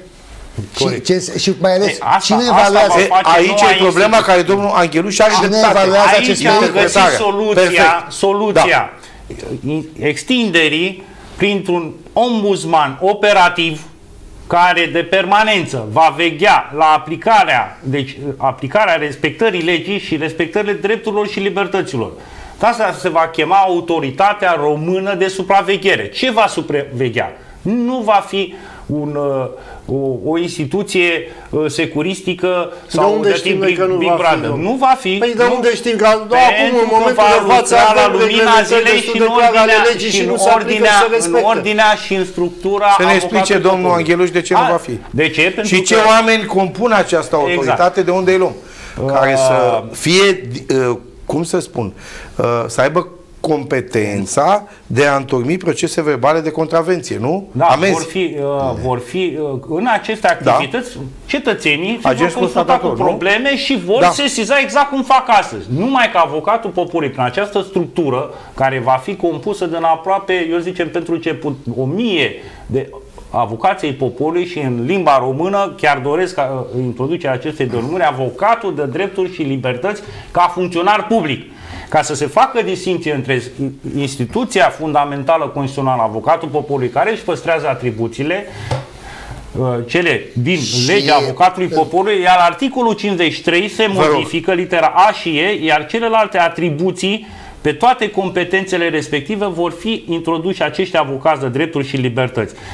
Ce vor fi acești oameni? Acești oameni vor, a- vor fi selectați prin concurs la nivel național și vor avea pregătirea uh, O mie de profesională, da, Deci da, o da. mie de oameni. Deci, lăsați-mi și o să vă explic de ce o mie. Să ne explice, să ne explice. Nu, Nu, nu, nu, dar- dar apoi ne întrebăm. Doar Doar aruncați pe- în derizoriu dacă că e e foarte important. important. Da, de ce? spuneți. Pentru că acești oameni, exact, vom avea o mie de Renata Weber, o mie de oh, S-a Iancu. terminat țara. Da, nu, nu, nu O că mie nu de s-a terminat. Renate da, Weber da, a da, spus. se Doamne, poate. dacă s-a experimentat Avem în altă peste parte și- 30 Nu de s-a mii de experimentat avocați, nicăieri. avem E- peste e o 30 soluție de mii de inedită. avocați pregătiți Trebuie să aibă vechime uh, minim, să aibă vârsta de minim 35 de ani ca să aibă o, o experiență de Unde-i viață, găsiți, domne, în să ce aibă țară? minim O mie 8 de ani. ani, Două secunde. 8 ani În activitatea juridică sau da, învățământul activitate. juridic, am înțeles.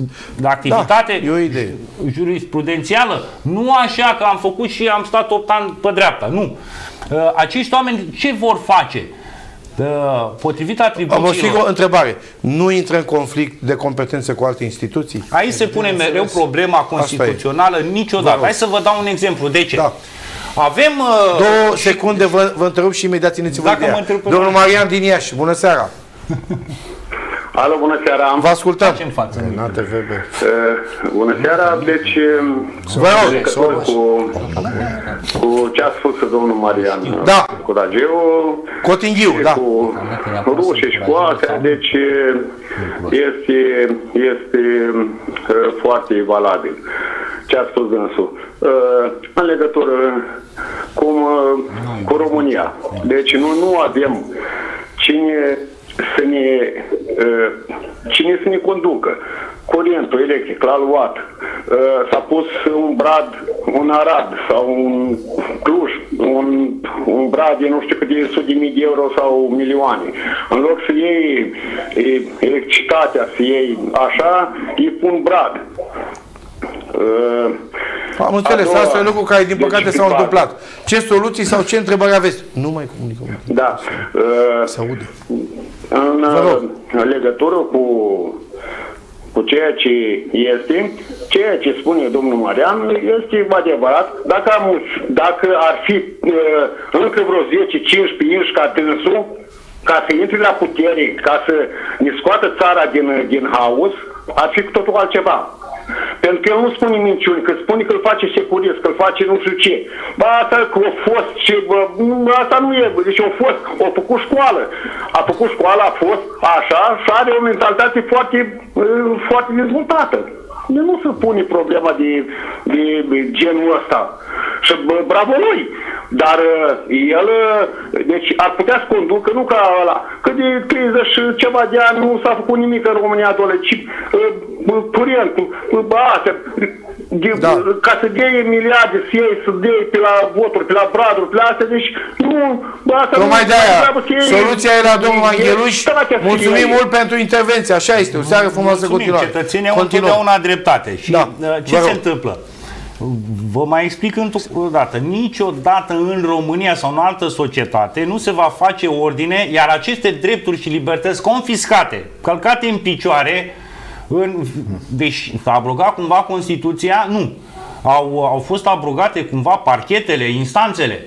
Iată că oamenii sunt oameni, funcționează. Și uh, tac din gură, uh, uh, sunt pur și simplu puși la colț, sunt pur și simplu manipulați și nu avem o instituție, nu avem pe cineva de permanență să poată să tragă la răspundere. Cum poate să tragă la răspundere? Ei, iată că această autoritate română de supraveghere va fi un, un alt institut, un, un institut înalt de expertiză, care ce va face? Aceste echipe vor veni la sesizare și va fi urcat pe portal sesizarea respectivă, va lucra cu instrumente moderne și de audiere, audio-video, de editoare de text, filmat video, probă la dosar uh, și alte expertize care vor fi dispuse de către un, un consiliu de expertiză în care vom avea experți pe toate domeniile pe criminalistică, pe uh, administrație, pe drept constituțional, pe energie, pe gaze, pe armată. În momentul în care un funcționar public a încălcat legea și se constată că sesizarea respectivă este întemeiată, se constituie un raport de expertiză. Inatacabil, pur și simplu. Și se vor aplica sancțiuni tuturor factorilor administrativi vinovați, atenție, tuturor pe verticală și pe orizontală. Vor fi cauze cu persoane multiple și se va face un raport de expertiză Păi ce și facem? se va aplica Păi, sancțiuni domnul contra Avocat, Domnul Inatacabil, Cristian nu, Sandu, în vă rog. momentul în care Haideți să se- vorbim pe rând, domnul se Cristian găsesc Sandu. infracțiuni, se găsesc indiciile unor infracțiuni, vor sesiza obligatoriu de îndată parchetul A, cu păi eu termene. Nu se vor încălca niciodată. Deci limita acestei o, organizații, autoritatea română, ca institut de supraveghere, ca în alt institut, va fi prin acești ombudsman, prin acești avocați de drepturi și libertăți, să vegheze la respectarea legii, să sancționeze contravențional, delictual, administrativ, punct, și să facă recomandările în buna tradiție a ombudsmanului, așa cum a fost și istoric, cum o face și avocatul poporului, nu este nicio Ce încălcare. statut o să aibă de funcționar public? Statut uh, de înțeles. înalt funcționar public, exact Da. de nivelul avocatul poporului. De Avocatul aceea, poporului are rang de ministru. da, cine îl bineînțeles. numește? Și Cine vor îl- avea asemenea salarii. Cine, Cine îl numește, cine? domnul Anghel? Nu, a zis că prin concurs. Prin Domnul concurs Cotinghiu. național. Dar da, cineva trebuie să valideze concursul să facă numirea. Dar bineînțeles, va fi o comisie dacă funcționează. națională. Perfect. Domnul Bineînțeles. Cotinghiu, vă rog. Este o utopie și vă spun și de ce. O mie de oameni. Cine ne garantează nouă că cei o mie de oameni nu vor, de, vor deveni coruptibili ca și clasa politică? bine. Vă dau răspunsul Cine că poate am- nouă să ne am garanteze că Haideți o să mie de răspund oameni- această întrebare. Să răspund la această întrebare. Cum va funcționa? Uh, c- Cine controlează pe controlor? Eu am soluțiile tehnice. Vă rog. Deci, partea de lege și de introducere, până la urmă, se va rezolva. Partea cea mai grea este asamblarea uh, acestei instituții și funcționarea procedurală. Cu privire la întrebarea uh, colegului nostru, uh, toate uh, aceste lucrări, sesizări, vor fi înregistrate exact ca pe portal, digital, uh, iar lucrările respective vor sta în acvariu. Nu e o denumire populară, deși există metode tehnice, tehnico-științifice. Nu uitați că avem acolo un consiliu uh, E adevărat, uh, presupune științific. și bani, sediu. nu, Foarte mulți bani, Da, foarte nu multă foarte mulți încredere. bani, am să- vorbim și de bani. Lăsați să Doamna vorbim de Valentina control. din București, bună seara! Vă ascultăm, Bună seara! vă ascultăm. Mii de scuze că vă deranjez, dar aș vrea să pun o întrebare invitațiilor dumneavoastră. Vă rog. Credeți că miza este Ucraina? În acest, dacă cumva Rusia o să invadeze Ucraina? Eu A- cred că nu o să fie miza Ucraina, cred că miza va fi țara românească, adică România. Și vă aduc în uh, aminte că 78-79 Ceaușescu a fost invitat în America de către Jim Carter, da? Jimmy Carter. Ce s-a făcut în 70 și 79 în America? Cum- Vă mai aduceți aminte? Da. Mulțumesc pentru întrebare. Încep cu domnul Angheluș. Da, eu vă spun, miza reală este reașezarea sferelor de influențe, scu- zângănirea unor oameni, cheltuirea unor bugete și uh, redesenarea unor uh, proiecte economice, comerciale și de timorare al Și privitor la celorlalți. teritoriu, aici o să ne spună domnul Cristian Sandu. Vă rog. destimată doamnă. Că doamna Valentina așteaptă, vă rog. din Destimată telefon. doamnă, uh, miza este, co- a spus domnul uh, Angheluș. Angheluș, uh, sferele de influență, este adevărat, sferele de influență înseamnă și bani. Cei mai mari producători de armament din lume sunt Statele Unite și Federația Rusă. Aceste arme trebuie și vândute altora. E, și aici Stimate- este lupta. A spus dacă Stimate România domn, este... ascultați-mă un pic. Da. Eu vă contrazic România nu intră în afară de ecuația asta. armament. România nu intră, România trebuie să-și vadă de treabă, care destule probleme de rezolvat. Nu intră în această ecuație. În afară de armament, miza sunt gazele naturale. Nu e adevărat. America nu alergă, America niciodată n-a alergat Are dreptate. decât după Are dreptate, gaze. doamna Valentina. Așa este. Domnul Cotinghiu, vă rog. După A- gaze. Doamna Gândiți-vă Valentina, că aveți dreptate. America își urmăresc interesul lor. 79, Jimmy Carter, da, președintele Americii, a spus așa. Stânga. Mai Uite-te tot această hartă și vezi că sunt trei avioane deasupra țării tale. mai încolo. Și când a văzut, i-a plecat cerul și pământul, invitat fiind în Dallas. Da? Gândiți-vă că atunci s-a cerut Ceaușescu acel cismar cu patru clase ca să fie o chestie de 50-50. Nu s-a acceptat de către americani și a spus nu 49 și 51%. America în momentul respectiv a spus așa, singura țară din lume care poate să exploateze gazele sunt, e doar America. Nu este adevărat. Domnul Cristian Nu Sandu. este adevărat. Cum? Noi nu de exploatăm gazele, rușii Iar nici le exploatează. America, să știți că nu dorește decât gaze. Miza e România. America nici nu prea Doar- folosește gaze, doamnă, pentru că ei au electrificat, f- au foarte multă chestiunile de uscasnic, uh, fabrici nu prea au că produc în altă parte și America are gazele ei, folosește gaze de șist, le importă din, uh, din altă parte, le importă din Golf. Bun. Bun, Domnul acum Cotinghiu. Deci am America una nu cumpără gaz întrebare. rusesc, ca să știți. America își urmărește interesul. Că își urmărește Interesul interesul, Americii da. este oriunde sunt minereuri, sunt gaze, oriunde sunt zăcăminte de petrol, zăcăminte de aur, de magneziu, de tungsten, veți găsi America acolo.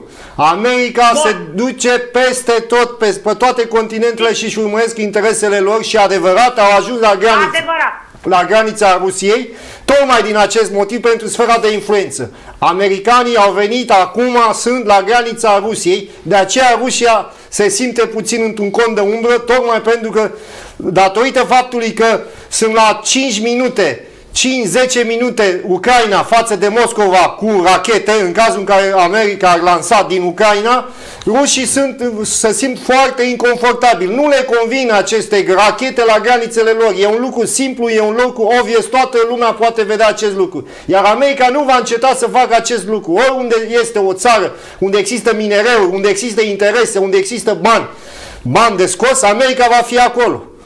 Domnul E- Angheluș. Evident, Acum e, evident. cum să vă Evident, explic, este pentru o că- situație... Domnul Angheluș să spună și dânsul punctul Este o de vedere. situație exact cam pe invers cum a fost criza rachetelor din Cuba, în care americanii și NATO au venit frumos cu rachetele, cu trupele, uh, să le arate degetul și să le facă observații cu uh, țarului rus, uh, ursului uh, mondial.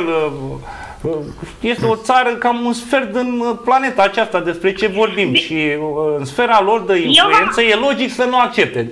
Ne-ați întrebat la început ce face România în această situație. Pe România în această situație face exact uh, greșelile pe care le fac politicienii noștri, în deciziile pe care le-a de a accepta trupe, de a a accepta să fie târâte în acest teatru de război, că este un teatru de popuși deocamdată.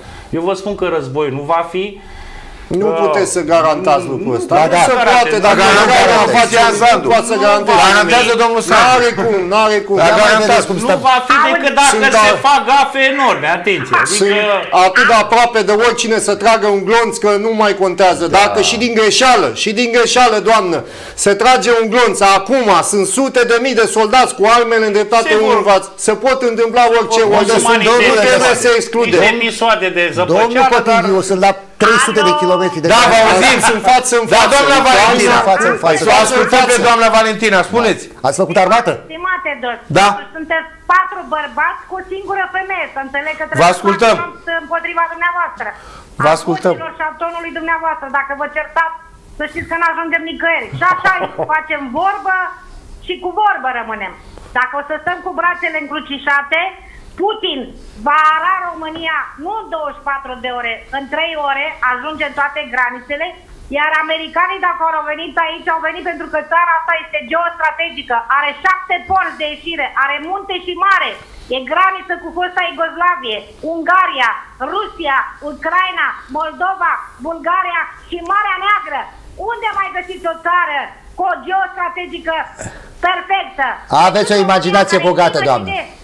Și de- Nu e bogată, stimați. Fie foarte bogată. nu este analist politic. Și Da, toată lumea e analist politic. Și stre, și ne pricem pe toți la militaro-strategic, fotbal și da. Asta Da, să o ascultăm până la capăt. Putin va ara Vă România. rog, este vocea poporului, este vocea vă cetățenilor. rog, doamna Valentina, spuneți. Apreciem. Și vă pun o întrebare. Da. Ungaria este, face parte din trupele NATO, da? Ungaria, da. ministrul de externe astăzi, a spus destul de clar cu subiect și predicat că nu va uh, a fi de acord să apere Ucraina și totuși fiind par- parte din NATO pentru că au tratamente rele împotriva cetățenilor unguri. Și nu vă dau un semn Minorității, de da. întrebare. De ce Unga- Ungaria, fiind membră NATO, nu e braț la braț cu americanii, cum suntem și noi acum braț la braț cu ei considerați? Doamna, De Va- apoi să doamna mă Valentina, dumneavoastră vă sunt neclare niște chestiuni de drept internațional public. Deci nu s-a pus problema ca NATO să riposteze militar în eventualitatea 0,001 probabilă că Rusia va intra cu trupe regulate în Ucraina. Nu se va întâmpla așa Stimate ceva. Domn, stați puțin că nu e acum. Nu acum, dar în caz de... Crede, dacă Păi, tot doamnă, spuneți haideți să nu ne la jucăm lacune, de-a Baba Vanga. Dacă Da, tot nu îmi spuneți presupuneți, că nu. lacune, Nu stăm pe- aici nu se discută pe prezentul presupuneri, e doamnă. prezent, Haideți că presupun și eu că... prezentul e prezent și ur- uitați-vă un pic că încercați să vă faceți o, o hartă a viitorului. Păi nu pot să-mi încerc pe aberații. Uitați, hai să vă propun eu un scenariu. Rusia intră prin, uh, prin partea de est, iar România, Slovacia, Ungaria și Polonia intră și își recuperează toate teritoriile furate prin pactul Ribbentrop-Molotov. Și prin... Vai de mine! Știți din cel de-al doilea război mondial ce îmi spunea bunicul meu, Dumnezeu să-l ierte? Doamne, să vină americanii, să vină americanii, să vină Nu americanii. avem nevoie de americani în chestia asta. Au venit și ne-au luat tot, doamnă. Ne-au luat tot și nu ne-au dat nimic. Au venit americanii, ne-au luat tot și nu ne dă nimic. Nimic, noi nu trăim bine Au sub venit, America. Au trecut și ne-au fluturat steagul pe deasupra. Și nu ne-au, n-au fost, noi n-am știut să fim nici de partea neamțului, nici de partea uh, uh, rusului și nici de partea americanului. Știți ce e mai grav, doamne, că nu Românii știm... Întotdeauna a fost cu două fețe. A avut dintotdeauna trădători. Cel mai grav este că n-am știut să fim de partea noastră. Nu că n-am fost, nu știm să fim de partea Asta vă altora. Spun, că avem trădători. Asta Așa e. este. Domnul Asta Angheluș. vă zic. Doamna Valentina, vă mulțumim mult de tot, ați dat dovadă de înalte calități și pregătiri de Academie Militară. Uh, Haideți să vă explic, nu suntem aici la un meci de fotbal în care toți ne pricepem, mai ales că sunteți femeie. Dacă ați fi terminat măcar armata, să ați fi ținut o armă în mână, puteați să ne dați sfat. Dar nu ne epuizați Dar timpul. nu aveți, domne, cum să spuneți, Vocea pentru că e poporului femeie, are- nu poate să vocea înțeleagă. poporului Poate are femeia a fost întotdeauna- foarte are pertinentă și a întotdeauna- spus. Da, Femeia nu, a are făcut niște întotdeauna- observații Dar foarte nu putem pertinente. să aruncăm în Nu puteți să spuneți că e femeie și nu poate să... Lucruri, nu, nu. Și Oamenii femeile au se dreptate. pricep la Dar trebuie, trebuie analiză să ne militară. cunoaștem fiecare limitele cunoașterii și limitele discursului. Adică ale dumneavoastră sunt ok, că Este, știm că da, le spuneți nu, dumneavoastră. doamna, Dar chiar să vă adevărat. luați adevărul Pot să- sus. Doamna Valentina, vă Nu, rog O să nu, trag nu, de nu. urechi pe doamna Valentina să nu ne Nu mai facă trageți de urechi. morală Haideți să o despre ascultăm. chestiuni militare Stimată, în condițiile în care dumneavoastră nu aveți o zi de Domnul uh, Sultan, de să pregătire armata. militară. Vă rugăm mult de tot. Domnul Sultan, Nu nu vreau dați să vă voie să jignesc. răspund. Da, Domnul, imediat, să spunem doamna Valentina. Nu trebuie să lucrezi la meteo ca să vezi când plouă afară. Da. Vă rog, doamna Valentina. Stimat, stimate domn, să știți că știu să stau și la cratiță. Să știți Nu, nu, că nu vă jignesc pot la face- modul ăsta, dar pot nu- să și bat pas de defilare și să mă port uh, drapelul cu, cu stil de răspundere. Pot să fiu și femeie în casă, o femeie de serviciu.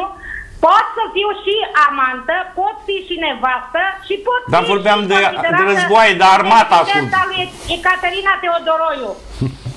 Ah. Deci încercați în așa fel încât să nu mai puneți Nu, dar nu ne mai trage Da, de ureche. egalitate nu ne de mai șanse între bărbați și femei, așa e. Da, dar tema Statul emisiunii era alta, garantează. doamnă. Da.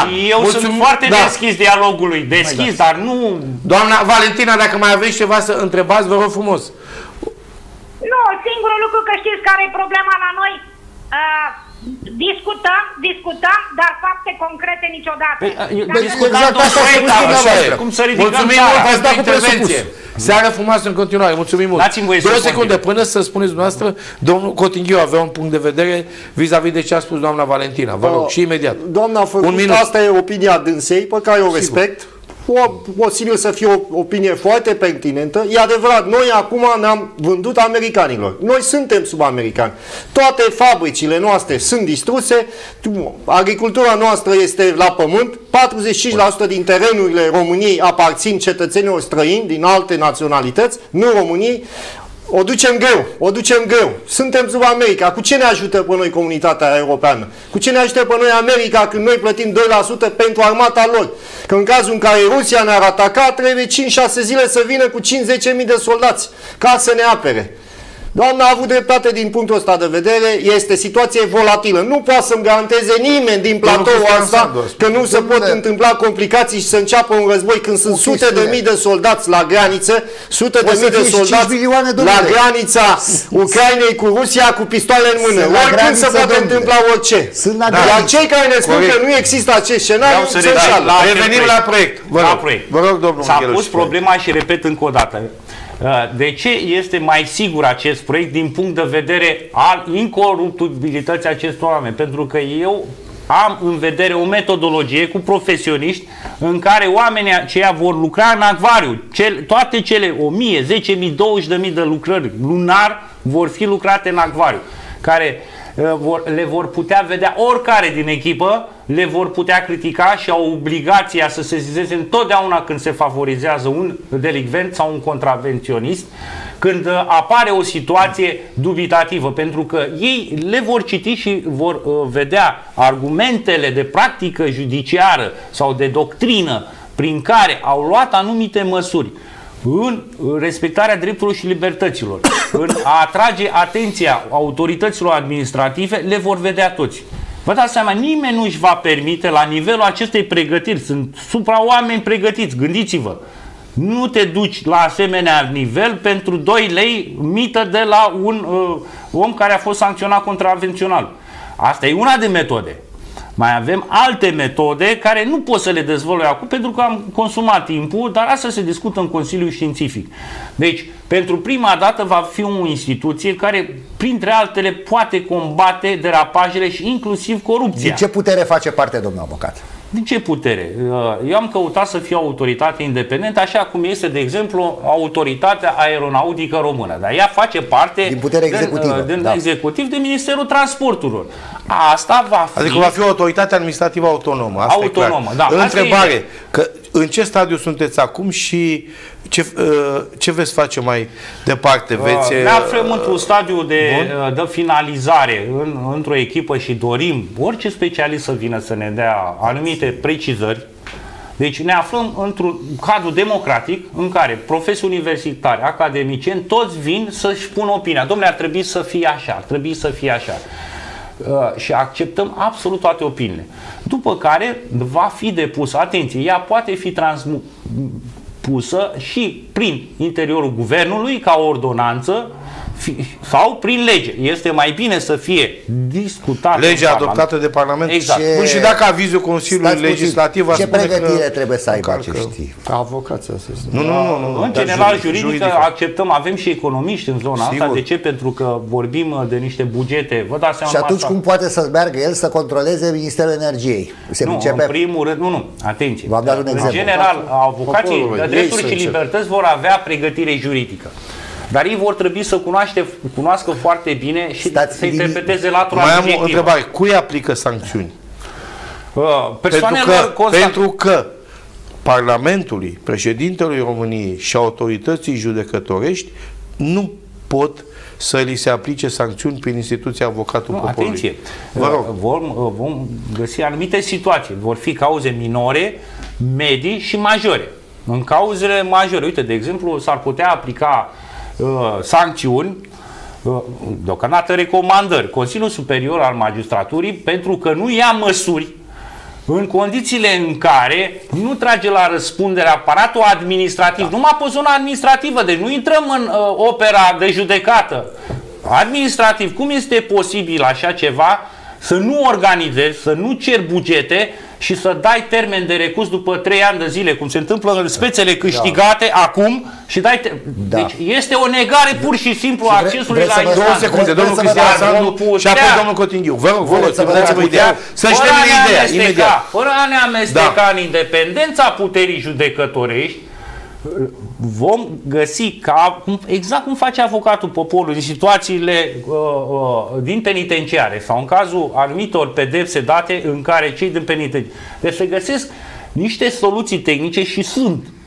Le veți vedea în activitatea, în siajul funcționării acestei instituții. Deci va putea trage la răspundere un funcționar care a încălcat legea pentru că este autoritatea supremă de control contravențional. Păi un jude- Atenție! Dacă un judecător calcă legea, nu poate să fie sancționat pe puterea administrativă, Nu, nu, domnul. atenție! Deci vom califica raportul juridic, pentru că este un alt institut de expertiză. nu Intrăm vorbim în conflict de nu constituționalitate aruncăm grav. nimic în Haideți deșert.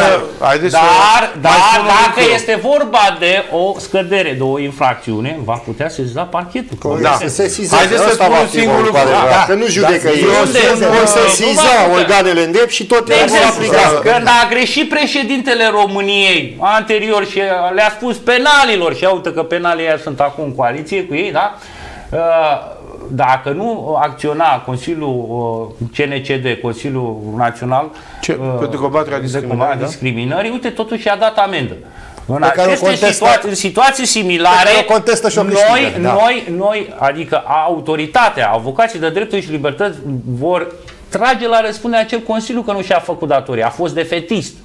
A refuzat să se sizeze din oficiu. Atenție, deci există și aceste mijloace absolut legale. Vedeți-vă de treabă. Fără, Da, fără eu a spun se un zică. singur lucru. Vedeți-vă de procese, e utopie. Articolul 1, E dreptul E o meu. alineatul dar- 4 din dar- Constituție, atenție, articolul 1, alineatul 4, Nu, dar indirectă. asta vă va spune Consiliul Exact. Legislativ, România se organizează potrivit principiului Puterilor separației separației și puterilor. echilibrului puterilor în legislativă, Exact. executivă și judecătorească în cadrul democrației Iar amenziile astea la care- constituționale. Unde vă veți situa?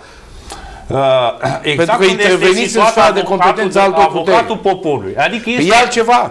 este o putere Practic constituțională. introduceți lângă avocatul poporului altă Avocatul poporului are instituție. consacrare constituțională. O altă domnul instituție. Andrei. Este un aparat al acestei instituții existente deja. Este un Da, aparat dacă rang de categoric. ministru?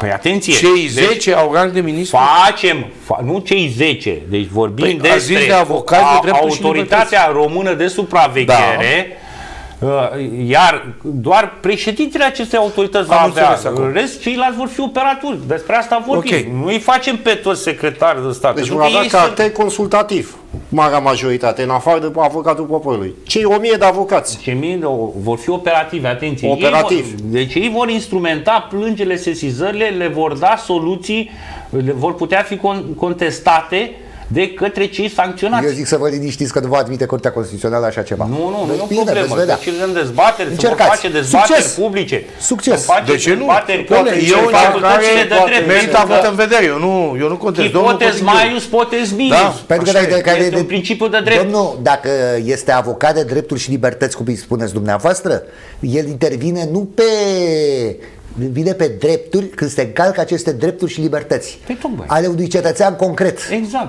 Păi el se sizează cetățeanul, se face un raport de Dacă expertiză este vorba- și dacă se constată încălcări, se iau Dacă măsuri. este vorba de încălcarea unui drept, drepturilor constituționale generale, cum a fost cu așa zisa pandemia asta, Toate drepturile, da? vă anunț, Pandemie, toate opinia drepturile și noastră. libertățile Este- cetățeanului nu putem să- au Atunci- corelații pandemie. cu relații este avocatul poporului și atunci se intră pe un paralelism, nu? Nu e adevărat. Care Dar paralel? da? Uh, Deja, deja înnebunesc cu paralelismul ăsta. Vă dau un exemplu. Foarte repede s-a introdus o mie de instituții care sunt paralele, se calcă în picioare. Ăsta e și rolul acestei instituții, ARF, de supraveghere a aplicării legilor, pentru a elimina aceste paralelisme. Și cum va funcționa? Păi dacă nu am aceste atribuții de raport de expertiză, că legile alea se calcă în picioare, că autoritățile alea nu fac și vă dau un exemplu foarte clar de posibilitatea introducerii acestei instituții care ci că nu calcă în picioare, pa, ba calcă.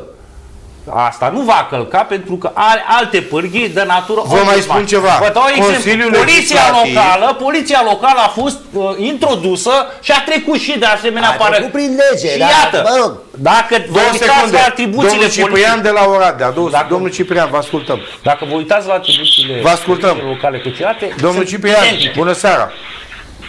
Seara bună, Doamne ajută! Vă ascultăm. Întrebare rapid ca să nu luăm din timpul domnului Angeluș. Vă rog. Da, să nu luăm în timp. Vă rog. Păi, domnul... domnul Mai avem 10 minute și de-aia vă rog. Un minut. Eu știu, eu știu, mă scuzați și... Nu-i problemă, vă ascultăm. De așa întârziere, uh, am o scurtă perioadă în care n-am mai, Așa cum este. să zic, să apuc să intervin, dar treaba este în felul următor. Domnilor politicieni, de orice culoare ați fi, Aici nu e niciun politician de data asta. Nu sunt de societatea civilă. nu Toți facem sunt politică. uh, reprezentanți ai uh, societății civile. Toți. care ne împrăștie ca o bășină. Mă scuzați de expresie. Fără să folosim un limbaj, uh, zic eu, uh, adecvat discuțiilor noastre din platou. Vă rog. Da. Închis. Dați-mi Vă voie rog. să continui. Deci există aceste paralelisme. Întotdeauna, uh, mari profesori universitari mi-au spus, ai grijă la paralelisme. Haideți să vă spun câte paralelisme Și eu vă sunt spun între la fel. instituții. Știu. Dumneavoastră cunoașteți că în țara asta toate instituțiile, toate ministerele au aparate de control și funcționează, da. Inclusiv corpul de control al ministrului. Toate, parchetul are instituții, au servicii Și de funcționează? Păi tu, asta vine instituția asta să-i oblige să aplice legea.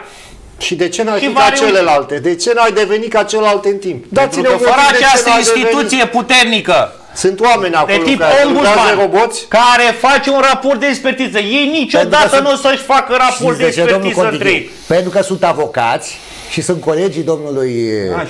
Angeluș. Angheluș Da. și care Și grădă ei vor deține puterea. Și ei vor ce A, vor avem face. o problemă de putere. Bineînțeles. Hopa! Puterea va fi la ce... Deci da, să suntem Bineînțeles. uh, securiști în țara asta. Haideți să vă anunț domnilor securiști care gândiți dumneavoastră. Nu, nu, să le spunem public Da, da, da. așa. Atenție! Uh, În organizarea asta, noua ordine mondială, domnule, se închid porțile lagărului și dumneavoastră n-ați dat drumul la această instituție. Pentru că referiți ăia la când vin Renata să vă Weber, ia, la vă ia cine vouă vă- Renata puterea și Solo. averile și voi sunteți primii executați. Măcar această instituție de tip ombudsman, că dacă începe revoluția în toată Europa, vor începe cu revoluții și ne vom aduce aminte exact tip uh, căderea zidului Berlinului. Așa vor cădea toate și fiecare țară de grabă își va face ordine în țară Păi și va istoric- institui acest tip de instituții și de ordine pentru a obliga celelalte autorități competente care nu și-au făcut datoria Da, să-și din o alții. facă. Dom'le, și De ce nu această există instituție- nicio țară din lumea acest Ca să- lucru, domnule? Ba, De ce există, nu există există, monitorizare? Există care? Explicați-ne. În ce țară există? Comisarii poporului. În ce nu, țară nu, nu, există, nu, domnul comisar, comisar? Haideți să ne Păi explice cum? fără să vorbim mult. Păi nu, peste haideți să, alții. în primul Vă rog, rând, domnule spune, Angel. haideți să Da. vă răspund că Da. domnul monopolizează, ne spune niște proiecte ale dânsului care crede dânsul că Nu, sunt e un, cele mai nu e bune. numai ale dânsului. Este un grup Reprezintă de un inițiativă grup al de căsătoriei asociații. avut E o care glumă, stat da, e o glumă. de seamă. Vă rog. Uh, Chiar îmi doresc ca în șase luni gluma să fie trecută, da? Și uh, să ne Ne-a dat întâlnim. dânsul răspunsul. El vrea o mie de Reneta Weber, de o mie de Monica Macovei care vor să meargă să facă ce au făcut sunt la părere. Bruxelles cu țara asta de 20-30 de ani. Asta e ce fac dânsi. Domnul Cristian Sandu. Ce Da, eu opinie am- aveți? Avem nevoie de o instituție de echilibru. Da. Avem, dar o Dar mie de de control oameni, avem nevoie? dar nu controlabil. Cum? De control avem Dar nevoie. nu știu ce pot să facă O mie de oameni la dita mai aparatul. Nu știu câți angajați are avocatul poporului, pentru că acolo sunt tot felul de Sunt consilieri. Sunt banii voți plăti. Până în 200, total. Sunt 180 și ceva în, da. și au 15 Până birouri la în 1000 nu mai e teritoriu. mare lucru la nivelul unei Deci țări. avocatul poporului în momentul de față are 180 de Nu, angajați. uh, nu, a- la nivelul cum- întregii țări. Cum să vă spun, ca să fac o Și- părere, Da. trebuie să văd un proiect de lege foarte concret. Da. Deci, vă dau un exemplu, e un Atunci- draft. Nu, Sau nu pe vă e-mail îi gândiți, nu e trimiteți mai cu un nicio problemă. Da, l-are domnul Pentru că Angheluș. trebuie stabilit o sferă de competență, adică unde merg oamenii ăștia? Peste tot. Ei vor combate Competența, în toată, în tot ce toată ține de România. Tot drepturile ce și ține libertățile. asta. Asta Da, cam de seamănă omului. cu secretarii de partide Păi pe vremuri asta care ce se- face, asta e de fapt care erau realitatea revoluționarii de ascunsă. profesie, Vin care alți se o mie, pricep alți la o mie, mai plătim Nu, nu, încă nu, o mie nu, la nu, banii nu, astea Zice acum. domnul Angheluș. E mai, domnul bine, Angheluș. e mai bine să lăsăm politicienii să ia decizii și hotărâri greșite. E bine să calce drepturile și libertățile Domnule, ficare. dacă nu ne E spuneați bine când vă numele duceți Reneta dumne- Weber aici, dumneavoastră poate la îl ghișeu, la ascultam NAF, altfel. la NAF să vă ia la mișto, să vă puneți în formă Domnul, electronică. Nu și- vă ia nimeni la Domnul NAF. Angel, Vă în momentul plătiți care se- taxele și n-aveți nicio teamă. Mă duc eu la că- sector 1, nu mă ia nimeni Haideți la să vă învățăți spun, și n-am Deci nicio trăim teamă. într-o lume Mai avem încă o minunată, mie de ne ducem la birocrați acum. culcare și lăsăm în Știți ce, continuare... era CEO, știți ce era CEO-meu pe vremea tovarășului Nicolae Ceaușescu? Da, nu, nu intrăm în... uh, Consiliul, da, consiliile oamenilor În discuții muncii, de alcool. care asta făceau și erau conduție de Consiliul Central de Control Muncitoresc, care era condus de secretarul cu probleme economice al Atenție, CCR. ARS și avocații de drepturi și libertăți odată se Da, zizați, ce- da. fac Ăștia un mergeau raport de peste tot, expertiză. făceau niște Haideți să rapoarte ne acolo, se înțelegem. îndrepau. Fac ceva, fac o un să raport de decidă. expertiză și dacă găsesc activități de astea nihiliste da, sau defentiste, ca domnul coleg, Domnule, ăla și o ia în freză, mai ales pentru că funcționează în felul următor. Fișa postului, cu asta le ia. Fișa postului, ce trebuia dumneata să faci? Legea, da? Și principiul bunei credințe. Dom'le, Intenție dreaptă, diligentă, legea o licitatea. face și- Curtea În Constituțională, momentul- domnul Angel. Dom'le, astea sunt elementele constitutive ale contravenției și ale faptei delictuale. Și că te-am prins ca funcționar, da, poți să-mi vii și comisar, poți să-mi fii... Păi ții da, dar șef, baza legală este poți să... Dom'le, pe legile să actuale. iei La nivelul fiecărui raport de instituție există expertiză și comisii du-te de dumneata disciplină. la instanță și contestă. spune că a greșit ARS-ul. A greșit avocatul de dreptul de libertăți, că pe dumneata, funcționar minunat, te-a sancționat degeaba. După ce trece definitiv Domnul moderator, și dacă dați voie instanța, să vă- imediat să dați termine voie- ideea. după ce trece și Imediat. instanța E- rămâne definitivă sancțiunea, Imediat. uh, uh, trimitem executorii să te execute altă dată, nu mai faci. Și uite așa se reface marea nevoie de refacere a mentalității românești uh, și, și învățământul se reface. Și, deci instituția asta trebuie mâine pusă în aplicare. Politicienii se ocupă în continuare de politică, să-și dea în cap, să facă prostii, hoții să fure, artiștii să creeze. Da, domnul Cotighiu, vă rog. Dacă dânsul venea și spunea că dorește reformarea sistemului judiciar, da, îl credeam. Nu Dacă se face dânsul venea cu niște idei ca în Anglia, unde sunt 12 jurați, în loc de un judecător, unde presiunea pe un judecător în România este imensă, atunci da, aș fi fost de acord Nici cu cu ce spune sistemul ăla dânsul. nu sunt de acord. Dar haideți să vă zic alte lucruri, domnul. Cum poate un judecător să ia o decizie bună într-un... Am dau un exemplu, un om contra unei, uh, unei multinaționale. Cum poate un judecător să fie obiectiv când multinaționala vine cu 2-300 de avocați, juriști, presiune, bani, iar judecătorul Ba nu are niciun sprijin? Ba poate și Cum- ajută ARS-ul. Cum poate? Îi spune domnul judecător, dumneata, Are statutul lui uh, domnul dumneata ai sta capră la această Logic, multinațională, legal. deși atribuțiile tale de servicii erau astea și să zizești CSM-ul, pentru că dacă am, am uh, face rapoarte de expertiză pe lucrul ăsta, adică nu se poate. Scot, o, scot Deci sunt profesori. super competenți. Deci, Deci au atenție, nu că competență. sunt super competenți, Eu așa dar văd. eu ca instituție pot Nu, să nu, trag zic, la au răspundere că competență- acel judecător mi-a stat capră în fața multinaționalilor și l-a lăsat să jefuiască țara. Ați înțeles? Este bine Nu este venită dacă problema, poate nu și este- nu are nimic sub cu legea. ascuns. Pentru că haideți să vă zic A, ce... totdeauna, Da, și și cu poate legea vă Magistraturii ce facem, domnule? Acea Uh, licență legea vă garantez că magistratului. va fi democratică la lumina Magistratul zilei. poate- Răspunderea magistratului, da. Magistratul nu poate nu răspunde pe soluție, domnule. Păi tocmai. Păi E atunci independența schimbați legea. judecătorilor. Cum să-l trage la răspundere? Așa a gândit el. Vă rog, domnul O Cotighiu. mie de oameni, o mie de avocați, e adevărat. Eu uite. Sunt foarte mulți oameni care trebuie plătiți. Acum avem un minut. Sunt Vă foarte mulți oameni care trebuie să fie incoruptibili, pentru că de unde am eu certitudinea că 5-600 din oameni ăștia nu se asociază și vor face ce e bine pentru cine crede ei că e N-au bine. Cum să nu aibă cum? Dacă sunt 5-600 din 1000, majoritatea învinge minoritatea.